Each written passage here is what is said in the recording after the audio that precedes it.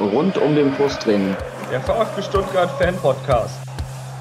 Natürlich, wir sind deutsche Meister und äh, ich freue mich einfach nur über die Feier.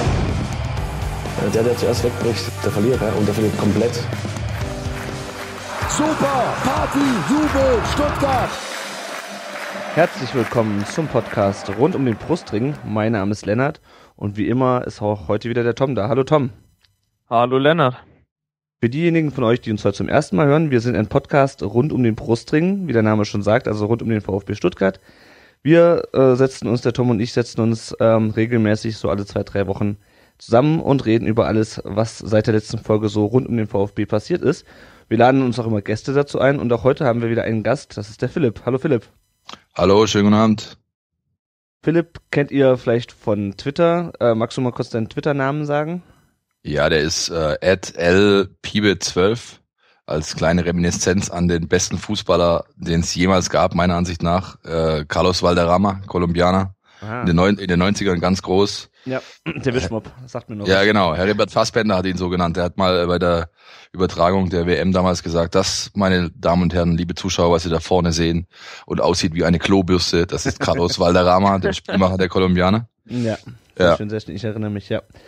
Ja, Philipp, ähm, wir haben erstmal, bevor wir dich, äh, bevor du dich austoben kannst, wer du bist und woher du kommst, damit die Leute mehr erfahren als nur deinen Namen, haben wir erstmal drei Fragen, die wir jedem Gast stellen.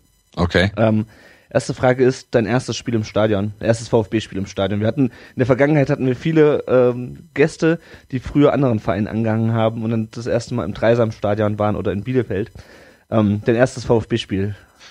Puh, äh, kann ich mich nicht mehr wirklich dran erinnern. Äh, mein Vater sagt, ich müsste drei oder vier Jahre gewesen sein. Also es müsste so 82, vielleicht 83 Mhm.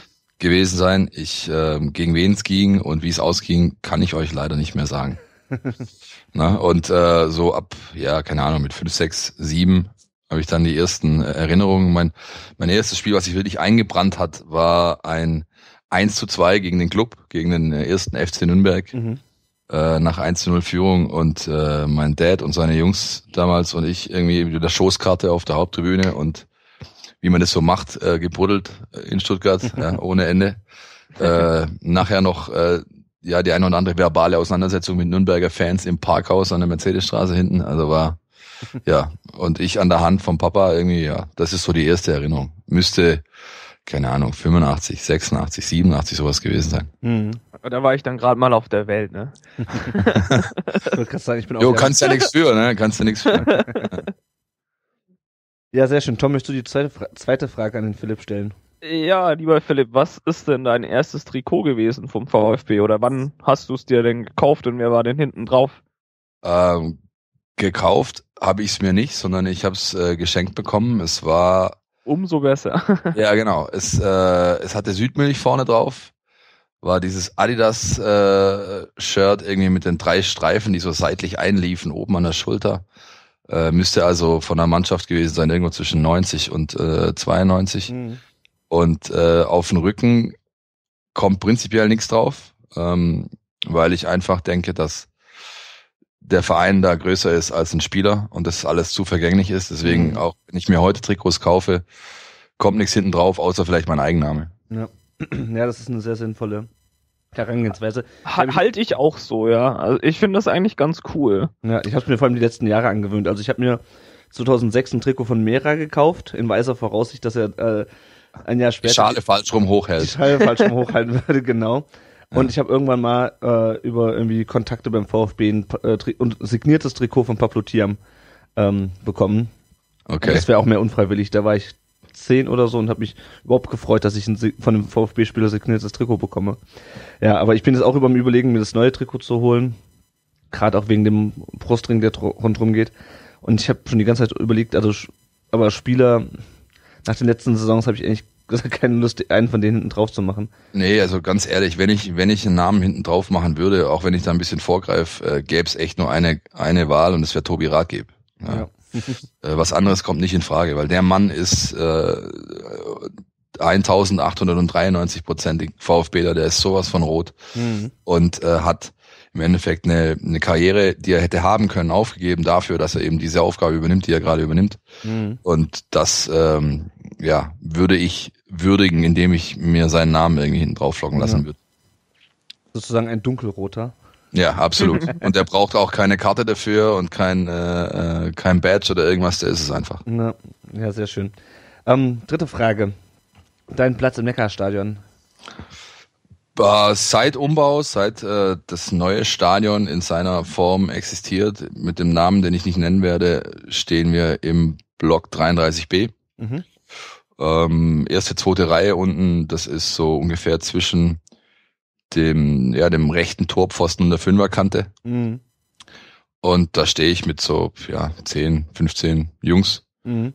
Und davor, als es die alte Kurve noch gab vor dem Umbau, dann, ja, dann war es, glaube ich, 31 oder sowas. Also Mhm. Ausgang, Haupttribüne, Anfang Kurve. Ja. Und jetzt stehen wir direkt hinterm Tor da oder ja, direkt neben dem Tor. Ist ganz gut. Ich mag das. Ich mag das, ähm, da unten zu stehen, weil du, du hast diese, diese, diese Power, diese Wucht von diesen 20.000, die da hinter dir stehen, irgendwie in der Kurve, hast du im Rücken. Es hat was Archaisches irgendwie. Ja, es ist Mhm. äh, trotz allem Event und trotz allem Shishi, der da gemacht wird, spürst du da noch äh, ja diesen diesen Vibe, den die Leute eben haben. Ähm, und das mag ich sehr. Ich möchte auch nicht weg. ja, ich kann es nachvollziehen. Tom und ich, stehen, wenn wir, wenn wir da sind, stehen wir eigentlich im 35er, relativ zentral auch. Und ähm, das ist schon, ist schon geil. Und früher in, in der alten Kurve standen wir im, ich glaube im 32er unten war es. Also erst drei, irgendwann hatten wir mal Dauerkarten. irgendwann hatten wir mal Dauerkarten im 32er, glaube ich, in der ersten Reihe. Ja, Also auf den Sitzplätzen sozusagen, das ist halt geil. Also in der Ja. allerersten Reihe wirklich. Ähm, wenn du dann die ganze Kurve hinter dir hast, das ist schon echt. Und du bist halt super nah dran. Ja, wie gesagt, mir, also das ist klar, das ist nicht von der Hand zu weisen, du bist sehr nah dran, du, du riechst den Rasen, wie man so schön sagt. Ja. Ähm, für mich ist aber tatsächlich der, der, der Hauptpunkt, diese, diese Wucht, die du da im Rücken spürst. Mhm. Also ich habe heute noch Spiele, wo ich, äh, wir kommen immer relativ spät, immer kurz vor oder, oder manchmal sogar schon erst nach Anpfiff und du gehst da runter und die Nackenhaare stellen sich auf. Und Ja. solange das so ist, ist es schon ziemlich gut. Ja. Ja. Sehr schön, sehr schön. Ja, genug. Ähm, erstmal zu den drei Fragen. Jetzt wollen wir natürlich noch mehr ein bisschen über, über dich reden und über das, was du machst. Stell dich noch mal kurz vor. Wo kommst du ursprünglich her? Wer du bist, wie du heißt, wissen wir jetzt schon. ja. Ähm, was machst du ähm, beruflich? Ja, also ich äh, bin hier geboren, bin in der Stadt geboren im Osten. Ähm, bin dann äh, einen Großteil meiner Jugend und ja meines frühen Erwachsenen-Daseins äh, im Speckgürtel aufgewachsen, in Feigen an der Enz. Mhm. Und äh, so mit Mitte, Mitte 20 bin ich wieder in die Stadt zurückgezogen. Ähm, Philipp, ja, habe ich schon gesagt, 36. Ich bin ähm, Online-Redakteur Mhm. und äh, bin äh, bei der SWMH, das ist halt die Südwestdeutsche Medienholding, das ist die die Mutterfirma von Stuttgarter Zeitung, Stuttgarter Nachrichten, Mhm. Antenne 1, Süddeutsche Zeitung, gehört da alles dazu, ist ein großes Medienhaus, äh, ähnlich wie Buddha oder Springer, nicht Mhm. ganz so groß vielleicht, aber in diese Richtung.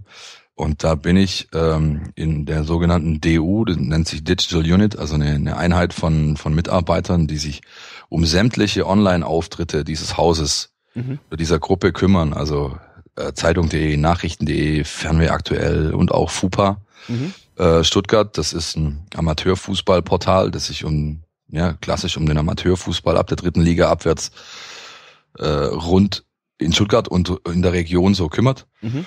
Und dort geben wir quasi dem Amateurfußball ein mediales Zuhause im Internet. Mhm. Und da bin ich äh, der Leiter dieser, dieser Geschichte Mhm.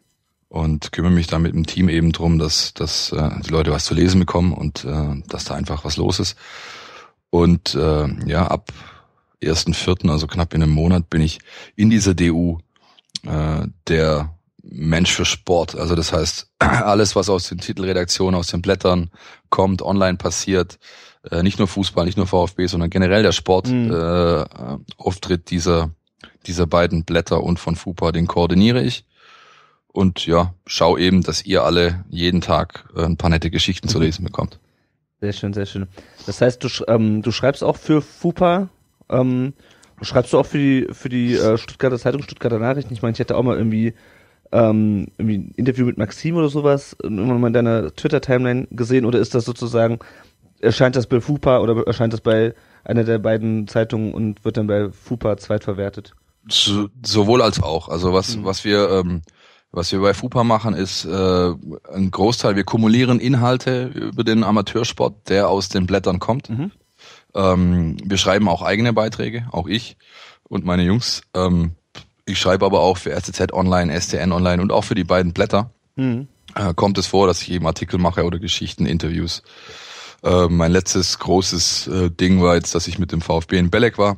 Mhm. Die zehn Tage dort das Trainingslager äh, quasi äh, medial begleitet habe und mit äh, Thomas Näher und Carlos Ubina, den beiden Printlern vor Ort, Mhm. quasi dafür gesorgt habe, dass es A, jeden Tag Geschichten aus der Türkei gab, dass äh, Live-Ticker gemacht wurden und ähm, dass eben auch am nächsten Tag das Blatt befüllt wurde mit Infos, die direkt von dort kamen. Mhm, mhm.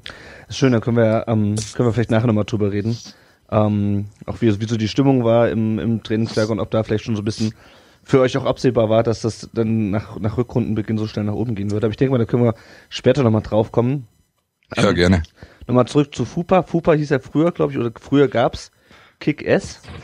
Wenn Ja. Ich, wenn ich richtig in Erinnerung habe. Und daraus Ja. ist dann ähm, ist dann FUPA entstanden, richtig? Ja, Oder- das ist ver- vereinfacht dargestellt, sagen wir mal so. Also ich habe ich hab, äh, mit äh, Martin, der auch auf Twitter ist, at 242, den kennen bestimmt auch einige, Ah, ja. Mhm. äh, mit ihm zusammen und noch einem dritten Partner habe ich Kick-S gegründet, komplett alleine, also auf, auf eigene Rechnung, auf eigene Faust. Das heißt, Mhm. Martin hat hat's programmiert. Äh, ich habe geschaut, dass äh, da Inhalte ähm, reinkommen mit einem kleinen Team von Freien und wir haben eben die die Vereinsszene in Stuttgart, die Amateurszene animiert und aktiviert, da mitzumachen. Mhm. Und das war dann irgendwann so, dass ja, dass du an einem, an einem gewissen toten Punkt angekommen bist. Das heißt, wir hätten, äh, wir hätten erstens mal deutlich mehr Manpower und auch äh, Geld, also muss ich ganz klar zugeben, monetär hat da schon eine Rolle gespielt, Mhm. gebraucht, um das Ding so groß zu machen, wie wie es hätte werden können. Mhm. Und zu der gleichen Zeit ist eben die SWMH aufmerksam geworden auf die ganze Nummer. Wir haben einen guten Job gemacht, das äh, darf ich so sagen. Ähm, und hat eben auch gemerkt, was die Jungs da machen, ist eigentlich das, was zu unserer Gruppe passt. Und ähm, FUPA selbst ist, ist quasi ein Franchise-Modell. Ähm, das heißt, die Jungs kommen eigentlich aus Bayern Mhm. und äh, arbeiten so, dass sie eben vor Ort oder regional mit Vereins, äh, nicht Vereins, mit, mit äh, Verlagshäusern kooperieren und sagen, wir stellen euch hier den, die technische Infrastruktur, den Mas Maschinenraum quasi hin, ähm, dass so ein Portal eben äh, ja so sein kann mit all den Funktionen. Mhm. Und ihr als äh, Verlagsgruppe respektive ähm, Lizenznehmer seid dafür zuständig, dass da Inhalte laufen und dass die Leute mitmachen. Und so kam es eben dann, dass, äh, dass ich mit Martin und meinem anderen Partner gemeinsam die Entscheidung getroffen haben, hey, wir, wir geben das quasi ab ja, und ähm, lassen die Marke Kick-Ass sterben. Und ich bin dann dafür mit auch ein Teil von meinem äh, Redakteursteam dann zu FUPA quasi gegangen und bin jetzt innerhalb, innerhalb der Gruppe SWMH eben der Amateurfußball, Mhm. Äh, dem Amateurfußball verpflichtet, sozusagen. Das heißt, Ja. du hast, hast auch eine große Leidenschaft für den, für den Amateurfußball, höre ich. Ja, absolut, absolut. Also ich, ich, äh, ich spiele seit ich fünf Jahre alt bin im Verein. Ich spiele immer Mhm. noch. Äh, Ich spiele hier beim bei dem glorreichen SV Eintracht auf der Weiler oben. Ja, Kreisliga B, tiefer geht's nicht. Aber ähm, ich spiele immer noch. Äh, ich kann auch noch mithalten mit den jungen Leuten. ähm, am Sonntag haben wir Rückrundenauftakt gegen den TSV Stein-Haldenfeld. Und ja, das ist, äh, das ist schon eine absolute Leidenschaft. Also ich, ich, ich mag diesen Sport unheimlich. Was mir auch sehr, sehr gefällt, ist dieses Team-Ding. Also ich könnte kein Einzelsportler sein, so irgendwie Tennis oder Golf spielen oder sowas. Ist, ist schön, ist bestimmt auch sportlich an- anspruchsvoll, aber ich mag diese, dieses in, in einer Mannschaft, Teil einer Mannschaft zu sein, zusammen etwas zu machen, auch mal nach dem Training noch in der Kabine zu sitzen und ein Kistchen Bier wegzumachen und so. Also das ist einfach, das gibt mir sehr, sehr viel. Und äh, das tue ich heute noch mit großer Leidenschaft, ja. Sehr schön, sehr schön. Wo wir gerade beim Thema Bier sind, ähm, was trinkst du denn gerade? Ich habe, wie es der Name schon sagt, Philipp Meisel. Ich habe, ähm, es gibt in Bayreuth äh, in Franken eine Brauerei, die heißt Meisels. Ja, die machen gutes Weißbier und die machen seit neuestem auch äh, ein Pale Ale. Mhm. Und äh, nachdem ich beim Neujahrsbowlen der Stuttgarter Nachrichten äh, so die Fresse aufgerissen habe, äh, von wegen, ich mache euch alle platt, und habe dann äh, glaube ich, insgesamt vier Mittagessen verloren. Hat mir der Kollege Dirk Preis, der, der ähm, von Stuttgarter Nachrichten, hat mir dann irgendwann äh, auf der Arbeit so ein Sech- Sechserträger Meißels Pale Ale hingestellt, um meine, ja, um, äh, wie soll ich sagen, um die, um das etwas zu mindern, meine, meine Niederlagen. Jetzt kommt, jetzt trinke ich mal ein ordentliches Bier. Und davon habe ich jetzt gerade noch eins hier offen. Ja. Sehr schön, sehr schön. Tom, wie sieht's bei dir aus? Ich habe äh, eins aus der fränkischen Schweiz mal da, weil eine Arbeitskollegin daherkommt und die mir netterweise mal ein helles mitgebracht hat. Heldbräu aus Obereilsfeld. Sehr lecker. Sehr schön, sehr, Sehr schön. gut, sehr gut. Ja, Hört ich, sich gut an, ja. ich bin äh, bayerisch unterwegs. Ich habe ein äh, ganz klassisch ein Augustiner, ein helles. Ähm, ja. ja. Damit kann man auch nie was falsch machen. Basti Sau. Ich würde sagen, wir sind gut versorgt. Und äh, damit endet auch schon der, der Bierteil dieses Podcasts. ähm, zurück zu dir. Ähm, ja, das heißt, du berichtest ähm, über den VfB, über den VfB 2, Ja, über die Jugendmannschaften auch. Ja, da habe ich, also äh, früher habe ich es noch selbst gemacht. Mhm. Ähm, mittlerweile, so die letzten zwei, drei Jahre, habe ich einen sehr, sehr guten Mann gefunden, der das macht, Mhm. Der quasi als, äh, als Teil unseres Teams ähm, da berichtet, der regelmäßig vor Ort ist, der mit den Trainern, äh, jetzt Heiko Gerber und ähm, Sebastian Kunkel mehrfach die Woche in Kontakt steht und einfach dafür sorgt, dass zumindest ein, zweimal die Woche ein äh, objektive Berichterstattung über diese Mannschaften gegeben ist, weil sonst Mhm. kannst du halt was auf der VfB-Homepage dazu lesen. Ja. Ja. Das ist natürlich, äh, ich will nicht, ich, ich möchte das Wort Hofberichterstattung nicht in den Mund nehmen, aber äh, muss ich, aber es ist natürlich eingefärbt. Es Ja, muss auch so sein, ja, wenn ich wenn ich äh, in der äh, Medienabteilung eines Vereins wie das VfB Stuttgart arbeite, dann darf da schon ein bisschen äh, rote oder äh, äh, rot, weiß-rote Brille dabei sein. Ja. Und äh, wir sind halt sonst die einzigen, die darüber regelmäßig schreiben. Das heißt, du kannst jede Woche kannst du ähm, ja mindestens einen Bericht dazu lesen. Dann haben wir den äh, Jens von VfB Exklusiv als äh, Fotograf, der regelmäßig dort ist. Das heißt, es gibt immer wieder mal eine Bildergalerie von den Spielen. Mhm. Und ähm, wenn sich einer unserer User bemüßigt fühlt, dann gibt es auch einen Live-Ticker. Mhm. Und das ist ähm, ja das ist einfach ein Alleinstellungsmerkmal. Deswegen Ja. machen wir das. Ja. Ja. Ja, genau, den Jens hatten wir auch schon letzte Woche äh, hier zu Gast. Ähm, ja, sehr schön. Tom, hast du noch eine Frage an den Philipp? zu ihm persönlich. ähm, Nicht, dass ich uns alle fragt, dass ich alle Fragen weggenommen habe. eigentlich äh, nicht. Ich, ich höre brav zu und äh, das passt schon so. Du willst nur Bier trinken, gibst doch zu. Ge genau, heimlich. Ja, Ich muss ja. bald noch mal in die Küche und So schnell ziehst du. Gut, ähm, dann würde ich sagen, ähm, denn, du möchtest noch was loswerden. Philipp, ähm, gehen wir mal äh, zu den aktuellen Themen. Nee, alles gut, haut rund, raus. Um, rund um den VfB um. Ähm, Ich denke mal, ähm, das sind jetzt drei Spiele gelaufen seit unserer letzten Folge. Das war das äh, 1 zu 1 in Gelsenkirchen, das 1 zu 2 zu Hause gegen ähm, Hannover und jetzt die 4 zu 0 Niederlage in Mönchengladbach. Und ähm, ich denke mal, wir können, wir sollten, wir müssen eigentlich mit diesem Spiel anfangen. Ähm, was ist da passiert? Wie? Also ich meine, das, wir haben diese Saison schon ein paar Mal 4 zu 0 verloren, das hat, ist kein Alleinstellungsmerkmal.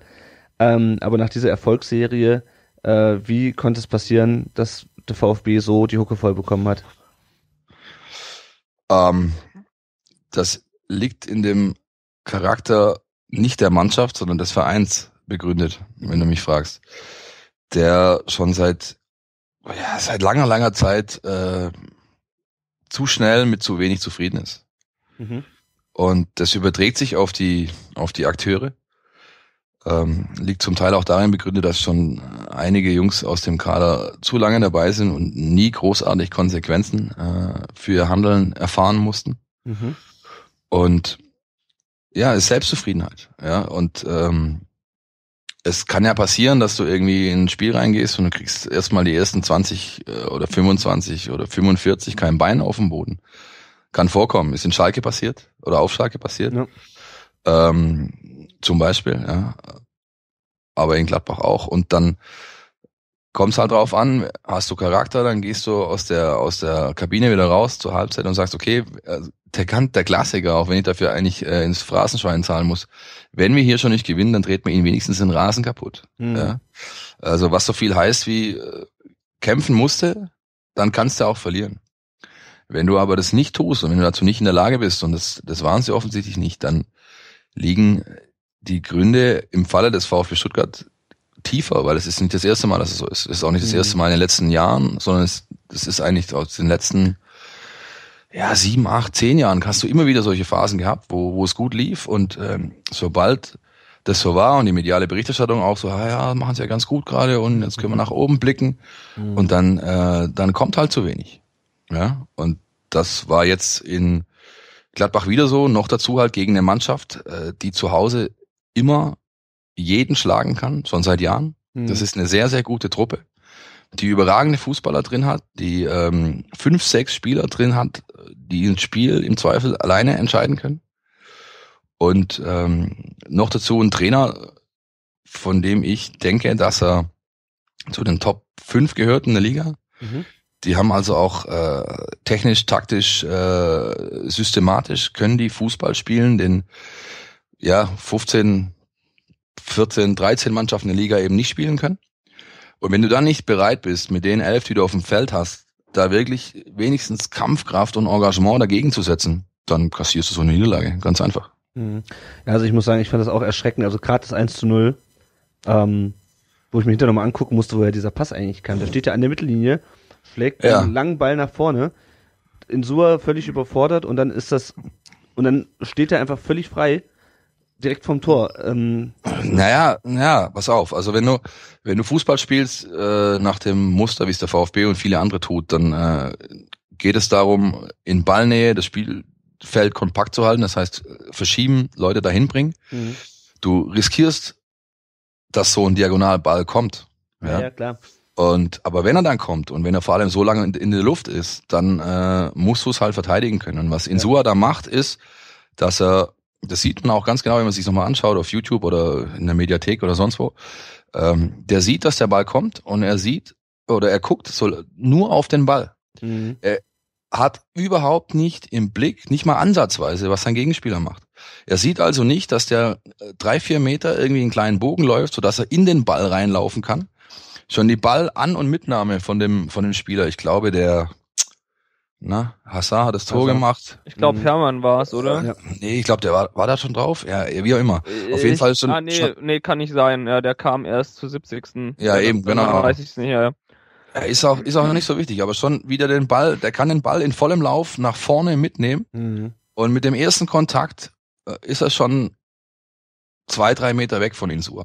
Ja. Das heißt, was Insua hätte machen müssen, wäre einfach, sich wenigstens so zu postieren, dass der, selbst wenn er den Ball so gut annimmt, dass er nicht sofort an ihm vorbeikommt. Aber da er sich nur auf den Ball orientiert hat und nicht am Gegenspieler, dann ist das eben so. Das ist einfach ein klassischer Stellungsfehler, wie man so schön sagt. Mhm. ja jo Johnson war es übrigens. Ah, ich ja. hab's Johnson gerade war's, genau richtig. Ja. Johnson war's, ja. Ja. Ja, war- ich war ja, ich war ja in Gladbach. Ich, äh, ich habe im Stadion auf jeden Fall auch erstmal auf Insua geschimpft und dachte so, what the fuck.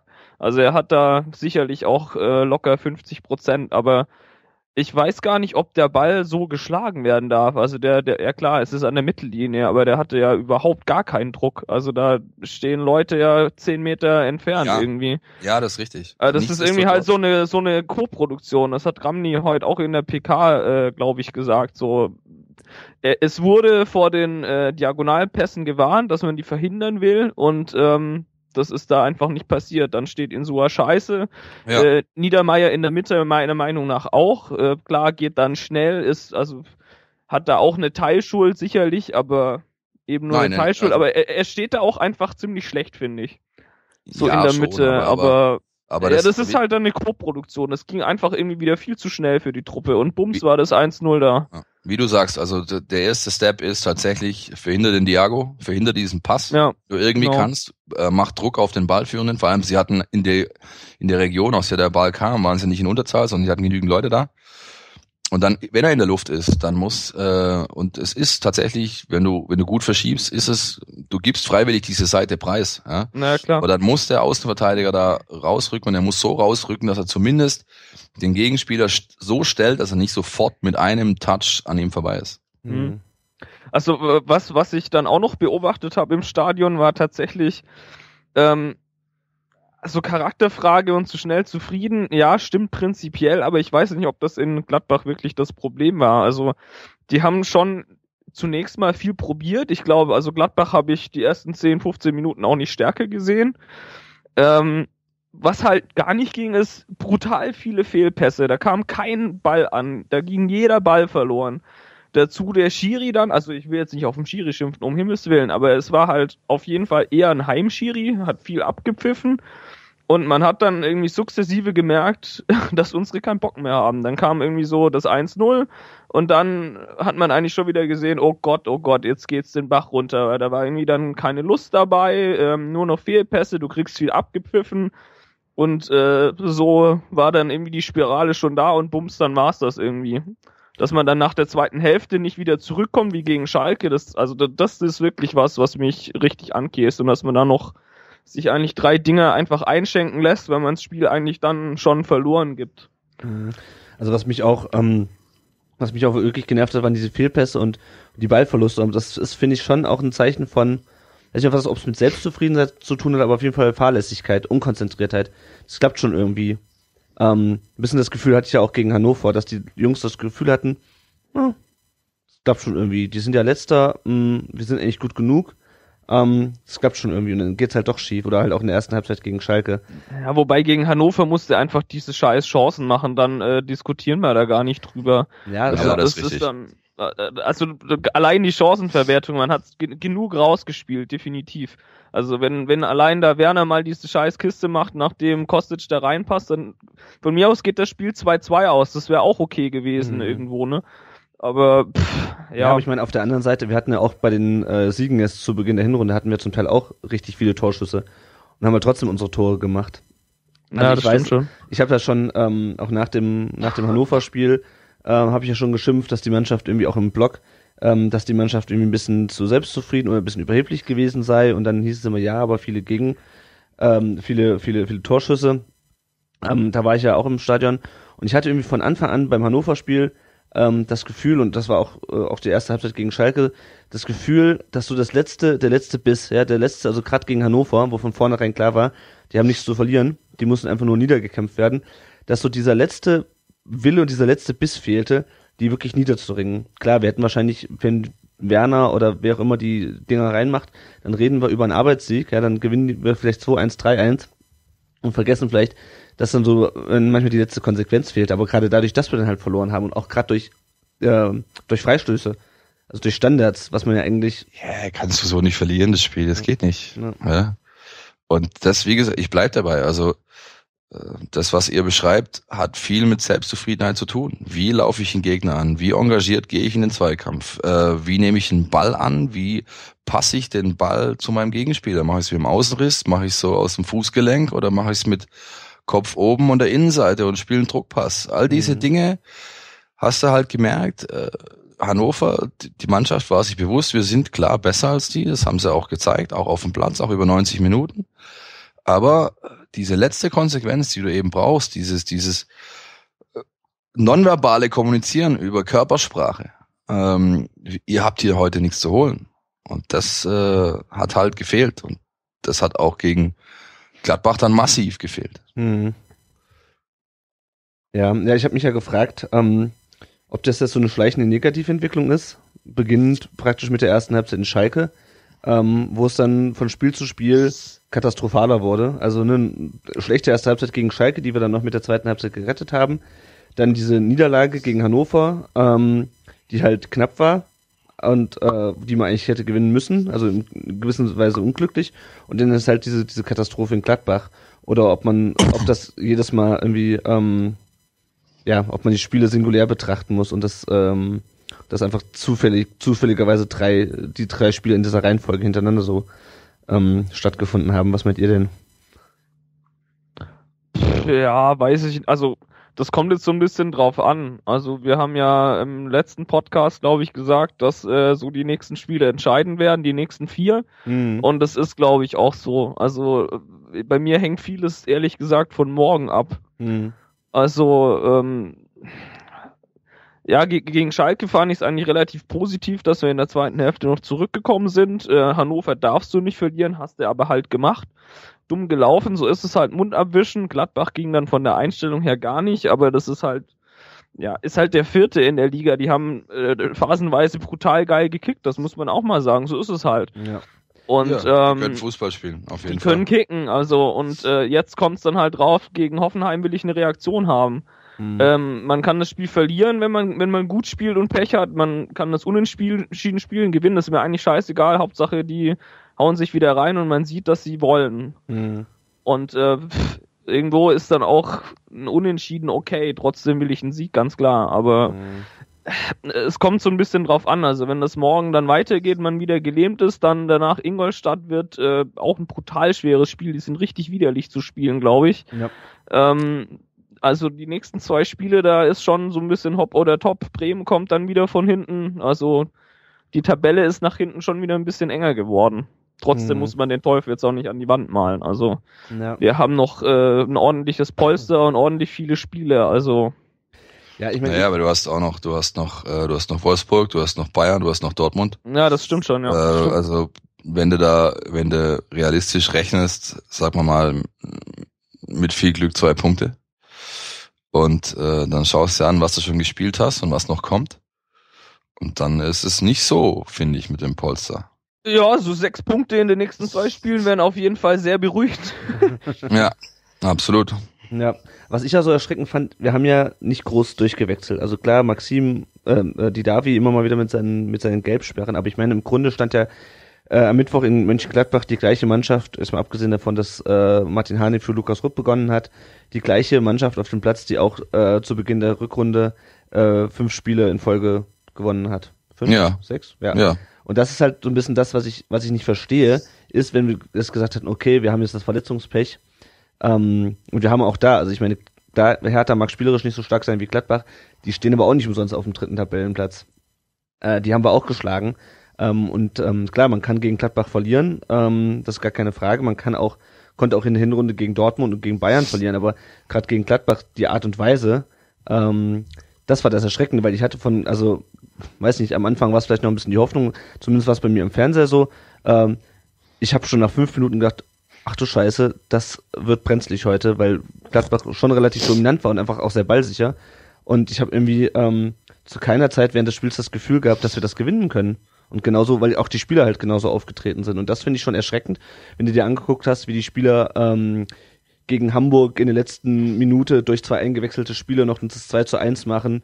Wieder die Davi gegen äh, Köln war es, glaube ich, nach dem dritten, nachdem er den dritten Spieler angeschossen hat, nach der Ecke Donner oder nach der vierten Ecke in Folge irgendwie noch das Ding irgendwie über die Linie, Linie wirkt. Ach nee, das war auch gegen Hamburg, genau.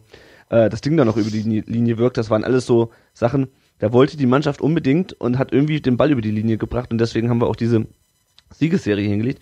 Und das äh, fehlt mir jetzt irgendwie in den letzten Spielen so ein bisschen. Ja. Und ich, also das Einzige, was ich mir halt äh, erklären kann, ist das, was du auch schon gesagt hast, Philipp, dass man nach dem Hertha-Spiel gedacht hat, ähm, okay, jetzt sind wir durch.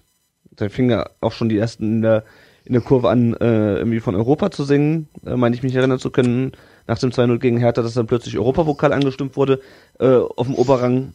Und ähm, ja, und also ich habe das Gefühl, die Mannschaft hat dachte, sie sei schon durch und wurde dann wieder ähm, nachlässig, was ein bisschen meine, meine, äh, die, meine These oder meine Befürchtung ähm, unterfüttert, dass die Mannschaft sich nur zusammenreißen kann, wenn es wirklich, wenn ihr wirklich das Wasser bis zum Hals steht. Wie gesagt, ich, ich bleib dabei. Ne? Selbstzufriedenheit ist der Schlüssel beziehungsweise der, ja, der Dosenöffner für das, was hier gerade passiert. Was ist denn, was ist denn äh, das Mittel dagegen, Philipp, deiner Meinung nach? Äh, Sind es Transfer im, oder neue Spieler im Sommer oder ist das irgendwie Kramnis Aufgabe, das hinzubiegen oder muss das in der Mannschaft passieren? Was, was muss denn passieren, dass das aufhört? Das kann ja nicht sein, dass wir irgendwie seit Jahr und Tag nur so hoch springen, wie die Latte liegt. Also das ist ja irgendwie nicht Sinn und Zweck. Ja, äh, ich, ich versuche es mal in, in zwei bis drei äh, Teile aufzusplitten. Einmal äh, ist es ein Stück weit die schwäbische Mentalität, dieses äh, sich irgendwie ja so ein bisschen klein machen. Okay, wir haben was, wir können was, aber wir reden nicht so laut drüber und lassen nichts raus, lassen es nicht raushängen. Ich glaube, das ist was, was äh, was dem Verein an sich und auch der Mannschaft fehlt, zu sagen, wenn ich gut bin, dann ist auch wirklich mit jeder Faser zu demonstrieren. Mhm. So dieses Mir ist an mir. Ja, genau. Also äh, so leid's mir tut, aber das ist halt nun mal so. Ja, die, äh, egal wo die hinfahren, egal wo die, wo die auftreten, äh, kommunizieren die mit mit allem, was sie tun, verbal und nonverbal. Ihr könnt uns gar nichts. Ja, Mhm. und das kann der Schwabe per se nicht. Ja, es ist, er ist einfach nicht so. Ja, und ähm, dann, was, äh, weil du den Trainer angesprochen hast, ich glaube, er hat sie ihn ganz gut vermittelt, weil äh, Jürgen jemand ist, der der brennt, der, äh, der selbst im Training äh, das kalte Kotzen kriegt, wenn jemand nicht äh, alles gibt, was er eigentlich kann. Und das hat auch dazu geführt, dass sie diese, diesen, diesen, diesen Rückrundenstart so hinlegen konnten. Ähm, und ja, äh, mittelfristig bis langfristig, wie willst du es wegbekommen? Diese Gier, die entwickelt äh, man erstmal aus sich selbst heraus, da ist jeder Einzelne gefordert. Ähm, aber es wird, glaube ich, nicht äh, gehen, ohne dass man das, das, äh, das Gesicht dieser Mannschaft maßgeblich verändert. Mhm. Das heißt, äh, wenn Leute wie, wie Schwab, Niedermeyer, äh, wie Gentner auch, so leid's mir tut, weil ich ihn sehr schätze, ist ein, ist ein ganz, ganz feiner Kerl. Ähm, wenn diese Menschen oder diese, diese Spieler weiterhin einfach überhaupt kein, keine Konkurrenz haben, selbst wenn es einen gibt auf der Position, der mindestens so gut ist, dann äh, ja, wirst du es schwer haben. Ja? Und äh, deswegen glaube ich, dass es nicht anders gehen wird, wie mal wieder, auch wenn es ein Unwort ist, äh, personell relativ Kante zu zeigen und äh, ja und einen Umbruch irgendwie einzuleiten. Es wird nicht anders gehen. Ja, du du bekommst diese Gier am schnellsten in eine Truppe durch frisches Personal. Mhm. Das ist halt nun mal so. Ja. Ja. Das sind ja Sachen, die wir auch schon im Herbst diskutiert haben, Tom, ne? Dass wir das Naja, hatten, kommt mir, kommt mir bekannt vor. dass es halt gerade diese Spieler sind, die, die seit Jahren im Verein sind, ja, die sich sicherlich auch in der Zeit ähm, äh, einige Verdienste äh, erarbe erarbeitet haben. Absolut unbestritten, absolut unbestritten, klar. aber die halt dann im Endeffekt diese Behäbigkeit und dieses, ich habe schon häufiger auch geschrieben und gesagt in dieser Saison, dieses gutes Pferd springt nur so hoch, wie es muss, diese Mentalität so ein bisschen mittragen, auch weil sie keinen Druck haben. Ich meine, Niedermeyer kommt jetzt zurück und ist quasi auch gesetzt, liegt aber auch daran, dass sein Konkurrent irgendwie Toni Sunic heißt.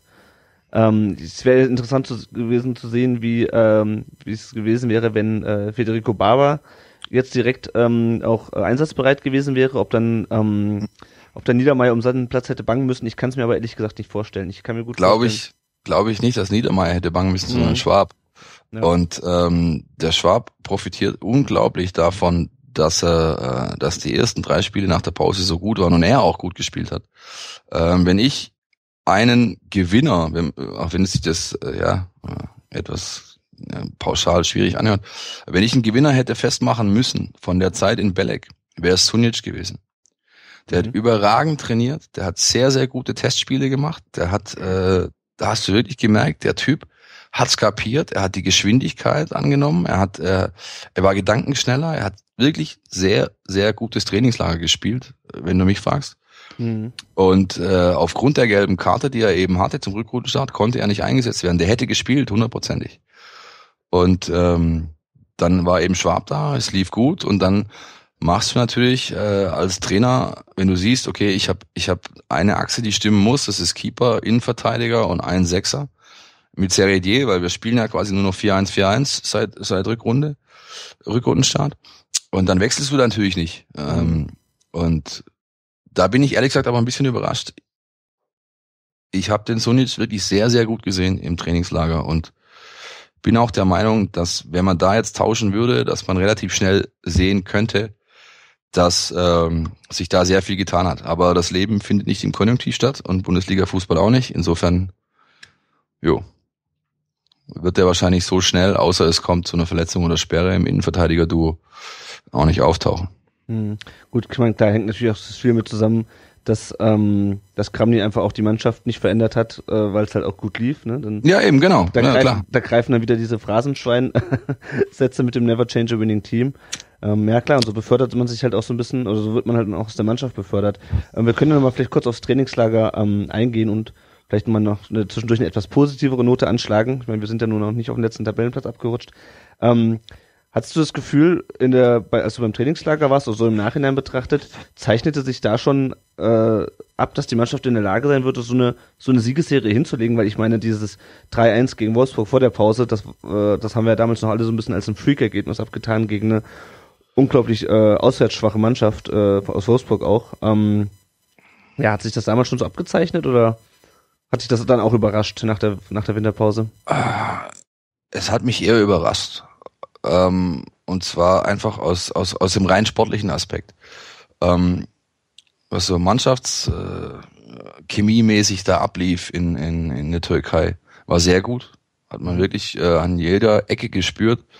Da passt's zwischenmenschlich. Das, das hat eine Truppe zusammengefunden. Und zwar vom Sportdirektor bis äh, über einen Masseur, über einen Fitnesscoach bis hin zur Nummer 23 im Kader. Das hat wirklich sehr, sehr gut harmoniert, was da, was da einfach ablief. Die hatten Spaß, die hatten die nötige Ernsthaftigkeit in den Einheiten. Da hat sich keiner hängen lassen. Niemand hat irgendwie den, hier so die, die Unterlippe vorgeschoben und geschmollt und sondern da war wirklich engagiertes, äh, zielorientiertes Arbeiten und auch die Lust darauf zu sehen.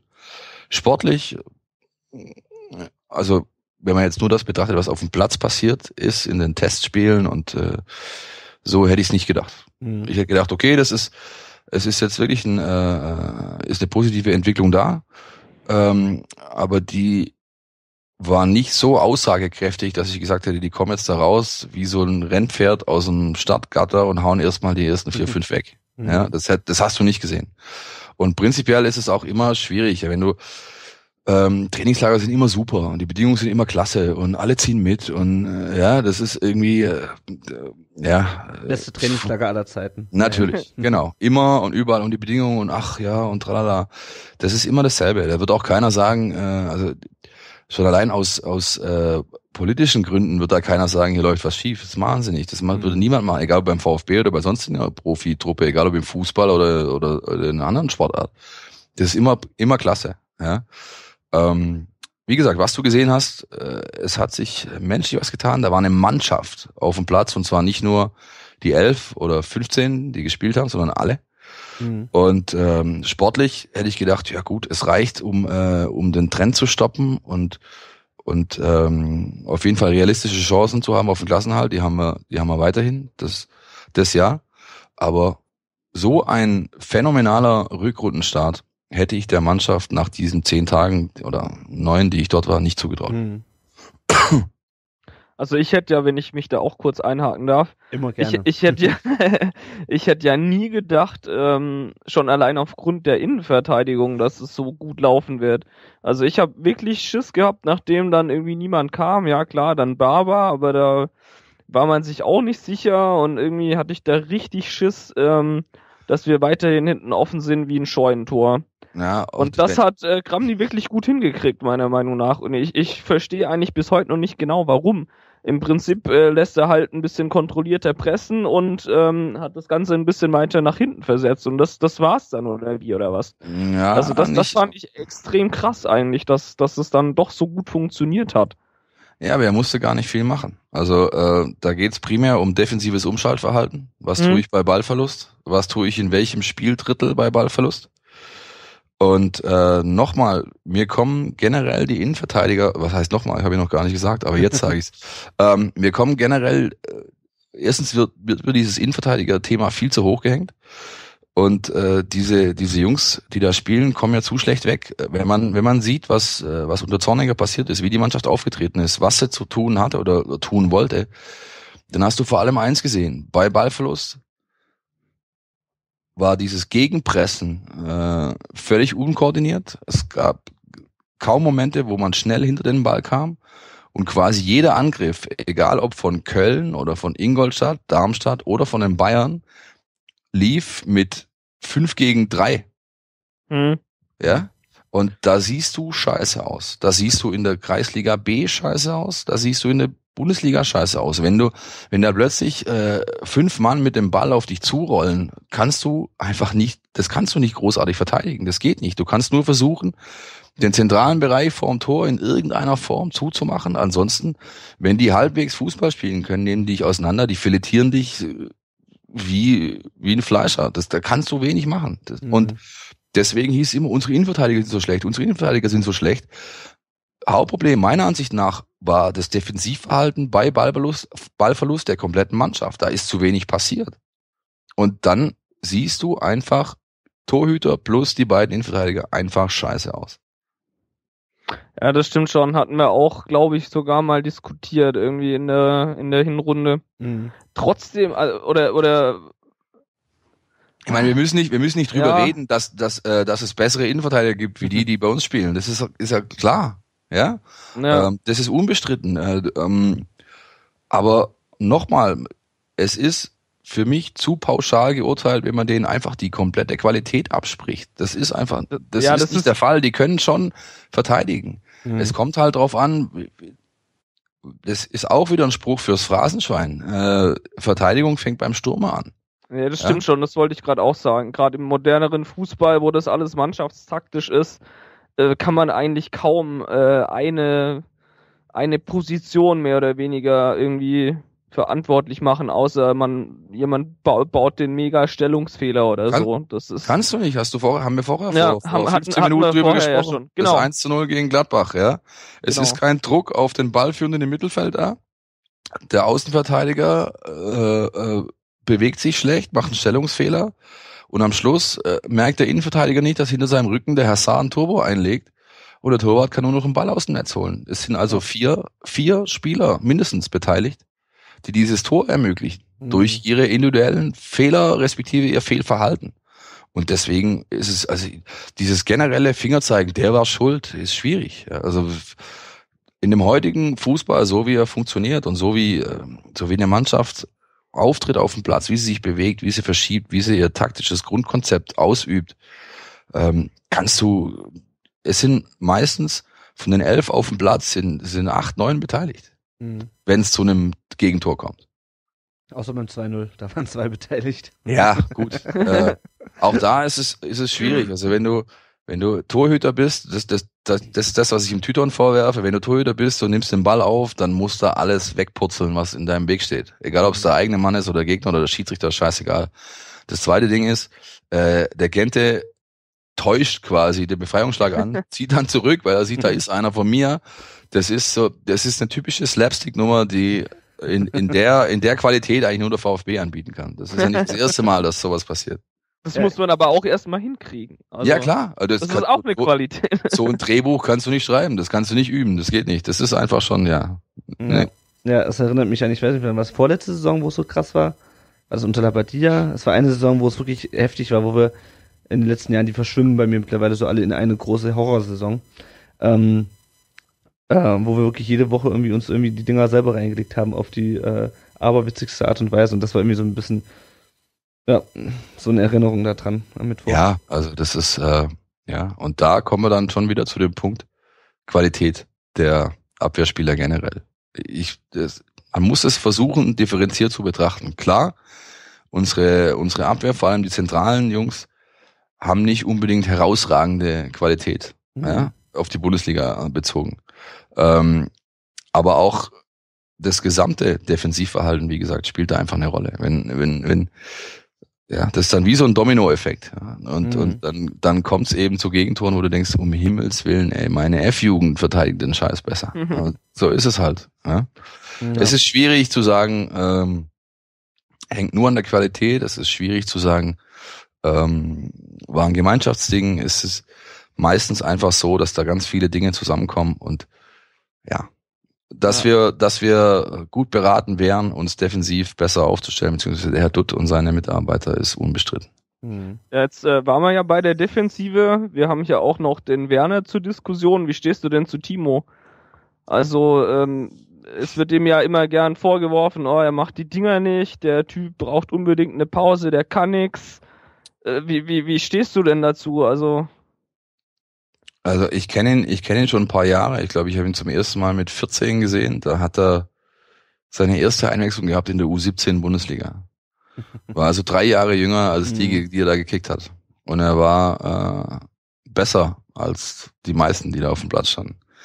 Das hat sich dann fortgesetzt. Das war in der U19 so. Da hat er mit, äh, mit 16 mit 17 gegen 19-Jährige äh, gespielt und hat die der Reihe nach vernascht. Ähm,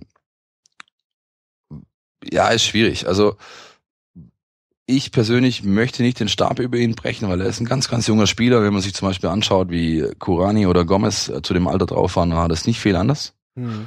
Ähm, der wird ein guter bis sehr guter Bundesligaspieler werden. Es dauert vielleicht äh, länger, als äh, wir uns alle erhofft haben.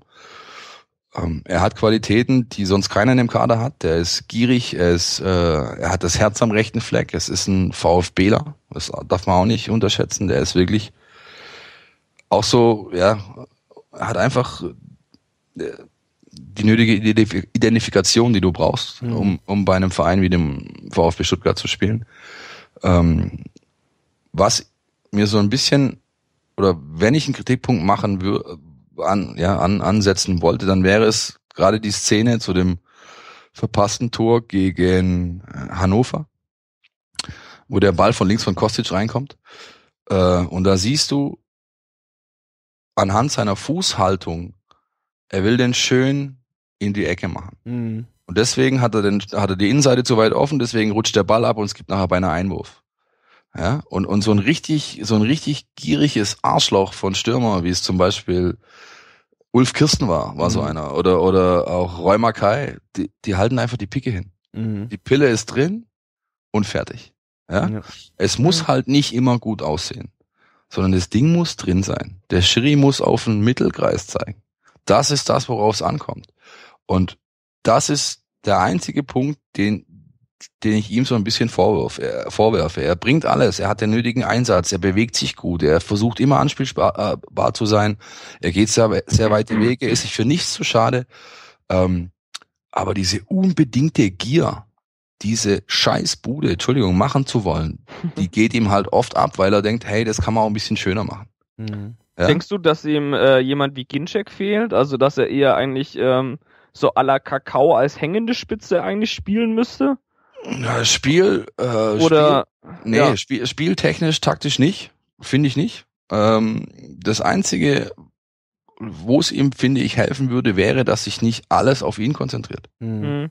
Wenn du halt so eine Kante drin hast wie ein Guinea vorne oder oder oder oder Gomez oder äh, einfach einen klassischen Zentrumsstürmer, ja, Mhm. ähm, der auch eine gewisse ja, äh, Beachtung erfährt von der gegnerischen Mannschaft erstmal, aber auch natürlich auch Fans und Medien, wäre es für ihn einfacher, äh, sich schneller, besser zu entwickeln.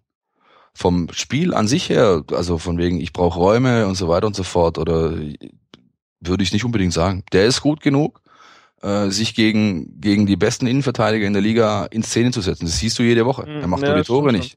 Mhm. Das siehst du jede Woche, dass er, dass er in der Lage ist, auch gegen richtig starke Jungs äh, äh, seine Szenen und seine Chancen zu bekommen.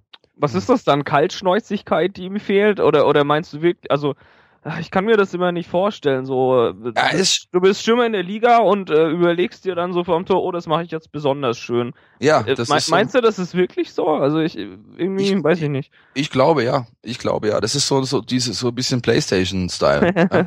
Komm, dann zentriere ich jetzt hier schön in den Knick. Ja. da da nehmen wir den noch den rechten Stick, ne? Genau, anstatt ihn einfach nur zu machen. Ja, Mhm. und ähm, das ist was, äh, was, äh, äh, was, ähm, ja, Claudio Pizarro, gutes Beispiel. Ja, der Typ ist gefühlt 180 Jahre alt, äh, macht am Wochenende drei Stück gegen Leverkusen und äh, der, wenn du Interviews von ihm liest oder auch so O-Töne, die du durchs Fernsehen oder sonst was mitbekommst, der ähm, dem geht's nur um Tore, Tore, Tore, Tore, Tore. Egal wie die aussehen, egal, egal, das ist vollkommen irrelevant. Tore, Tore, Tore.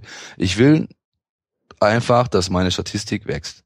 Mhm. Und das, und dafür bin ich bereit, auch wirklich hässliche Dinger über die Linie zu würgen, ja, wie es so schön ist. Oder, oder wie man so schön sagt.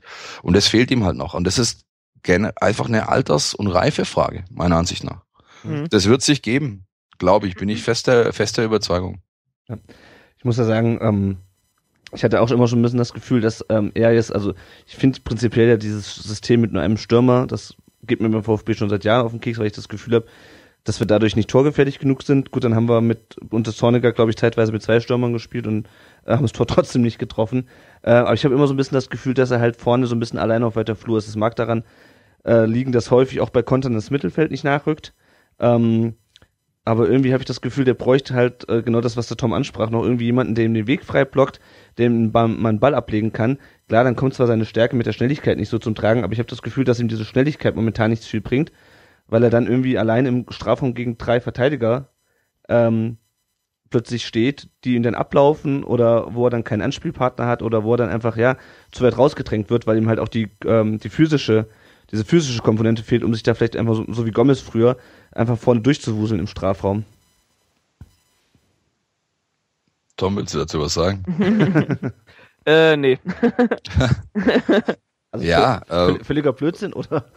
ähm, Nein, nein, auch da, auch da ist es, äh, ist es schwierig, äh, es an einem zentralen Punkt festzumachen. Ja, ähm, ich finde nicht, dass der VfB nicht torgefährlich ist, weil äh, Torgefahr hört bei mir nicht bei der reinen Statistik auf, wie viel Buden machst du, sondern äh, ist die Mannschaft in der, in der Lage, äh, Chancen herauszuspielen und wenn ja, von welcher Qualität? Und das äh, kann der VfB. Das kann der VfB seit äh, seit ewigen Zeiten eigentlich ganz gut. Ähm, es fehlt an der Effizienz ein Stück weit. Aber auch in dieser Saison, auch unter Zorniger, siehst du, die Mannschaft ist gegen egal welchen Gegner in der Lage, sich eigentlich gute äh, gute Torraumszenen Mhm. zu erarbeiten. Ähm, was diesen zweiten Mann neben für ihn angeht.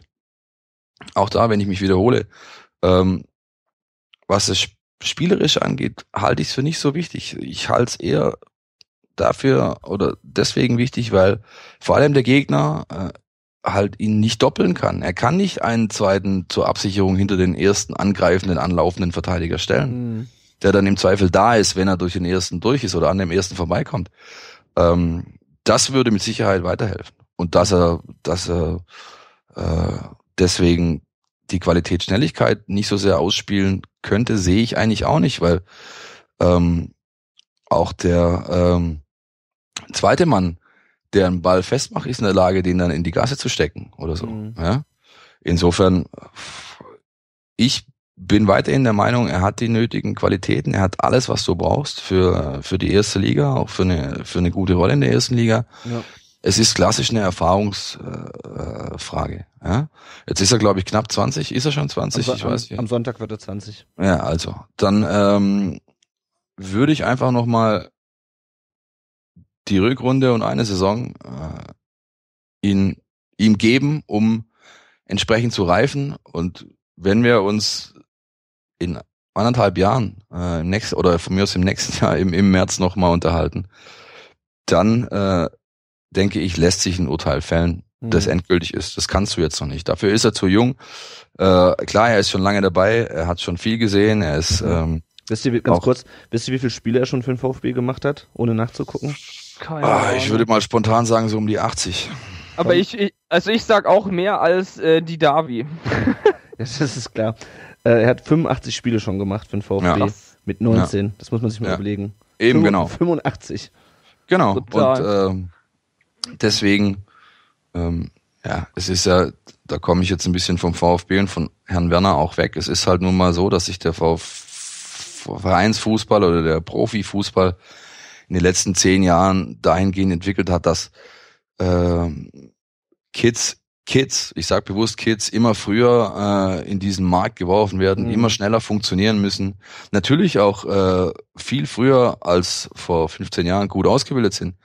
Aber trotzdem finde ich, manchmal wären alle, und sowohl Verein, Fans, Medien, äh, gut beraten, dass man sagt, hey, äh, also wenn du früher mit 23 oder 24, 90, knapp 90 Bundesligaspiele auf dem Buckel hattest, äh, da war echt was geboten. Heute ist, ist der Kerl 19, fünf Achtel oder was weiß ich, ja, und das, die Geduld geht vielen ab. Das, äh, und äh, manchmal sollte man einfach vielleicht ein bisschen abwarten und nicht so schnell so viel erwarten und dann bekommt man nachher auch mehr dafür zurück.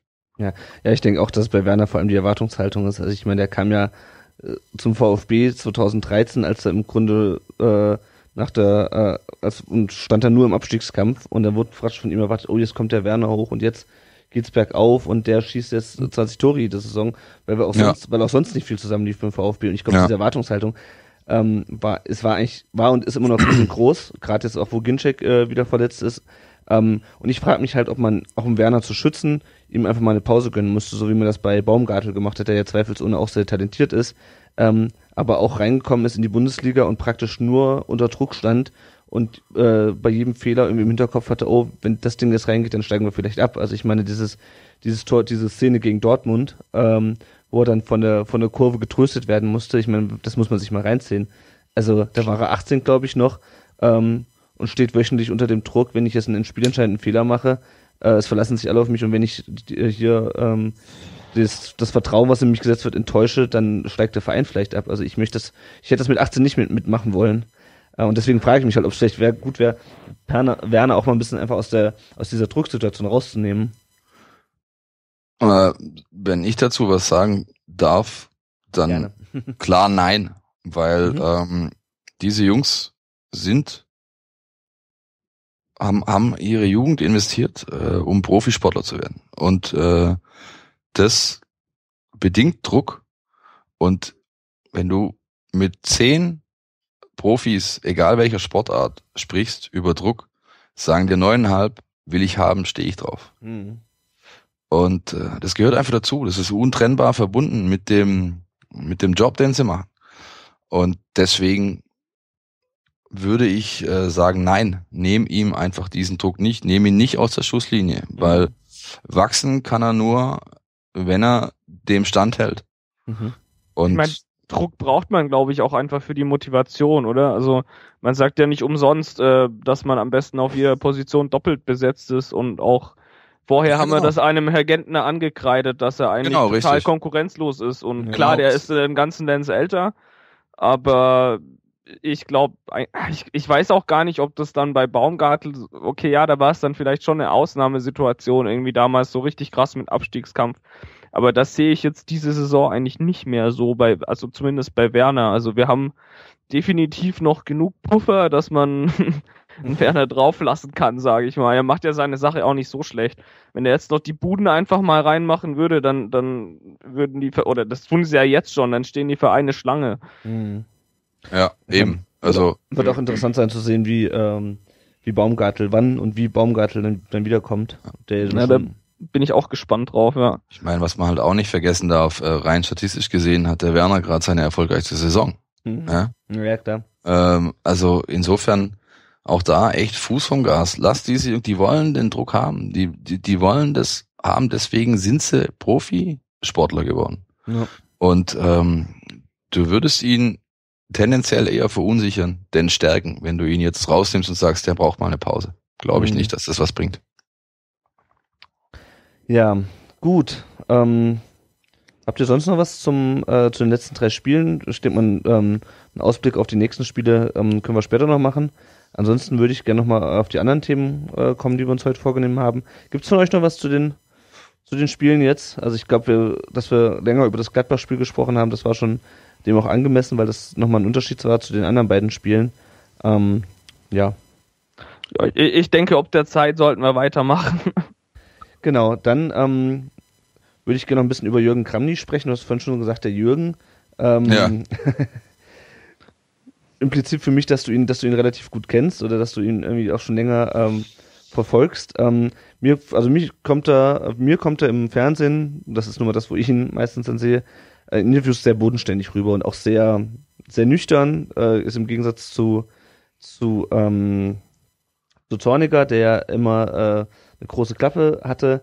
Ähm, ja, ist er auch so, so ist er so, wie, wie er im Fernsehen rüberkommt, so bodenständig, so, ja, ruhig, nüchtern. Ja, absolut, absolut. Also kann ich wirklich nur, kann ich wirklich nur bestätigen. Ich habe, ich kenne ihn eigentlich seit er beim VfB ist, damals noch zu Kick-Ass-Zeiten, weil wir damals eben auch schon über die U19, die er erst trainiert hat, äh, berichtet haben, entsprechend. Ähm, dann später äh, wurde er relativ schnell dann Trainer von der U23.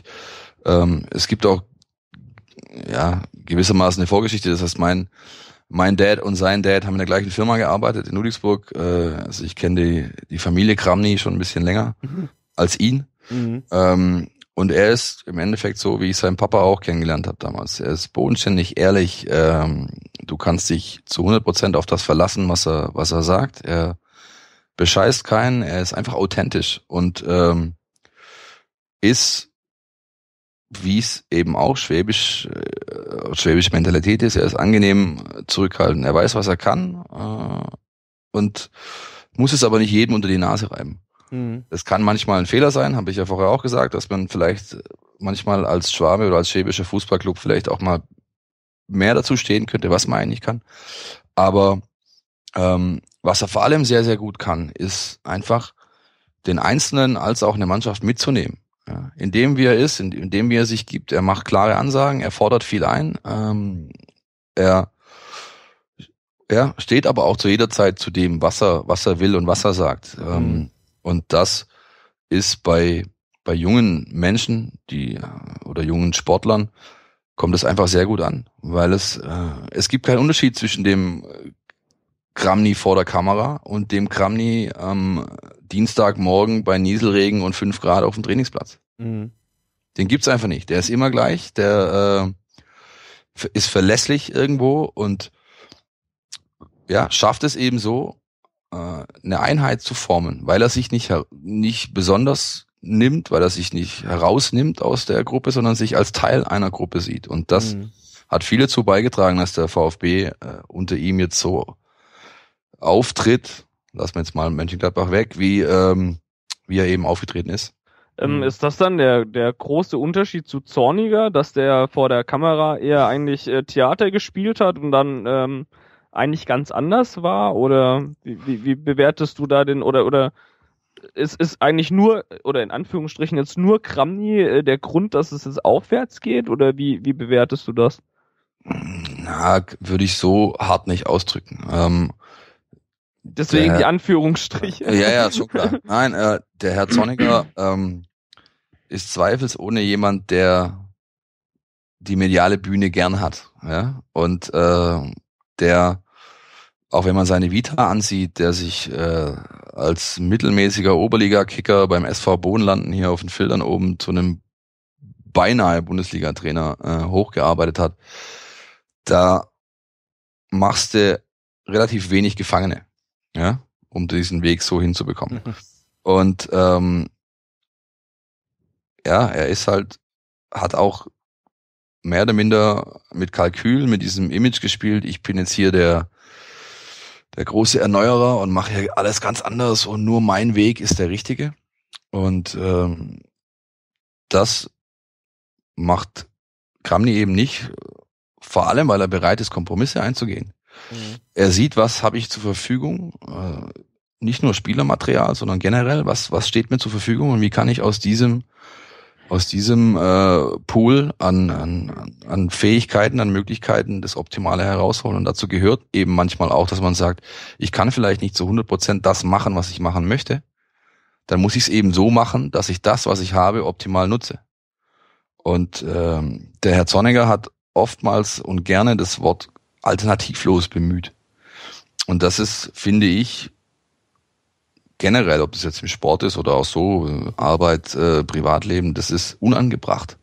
Weil nichts ist alternativlos. Es gibt immer äh, äh, einen zweiten, manchmal einen dritten und einen vierten Weg. Äh, Das Leben ist nicht schwarz-weiß, es ist grau in, in, hauptsächlich. Und Mhm.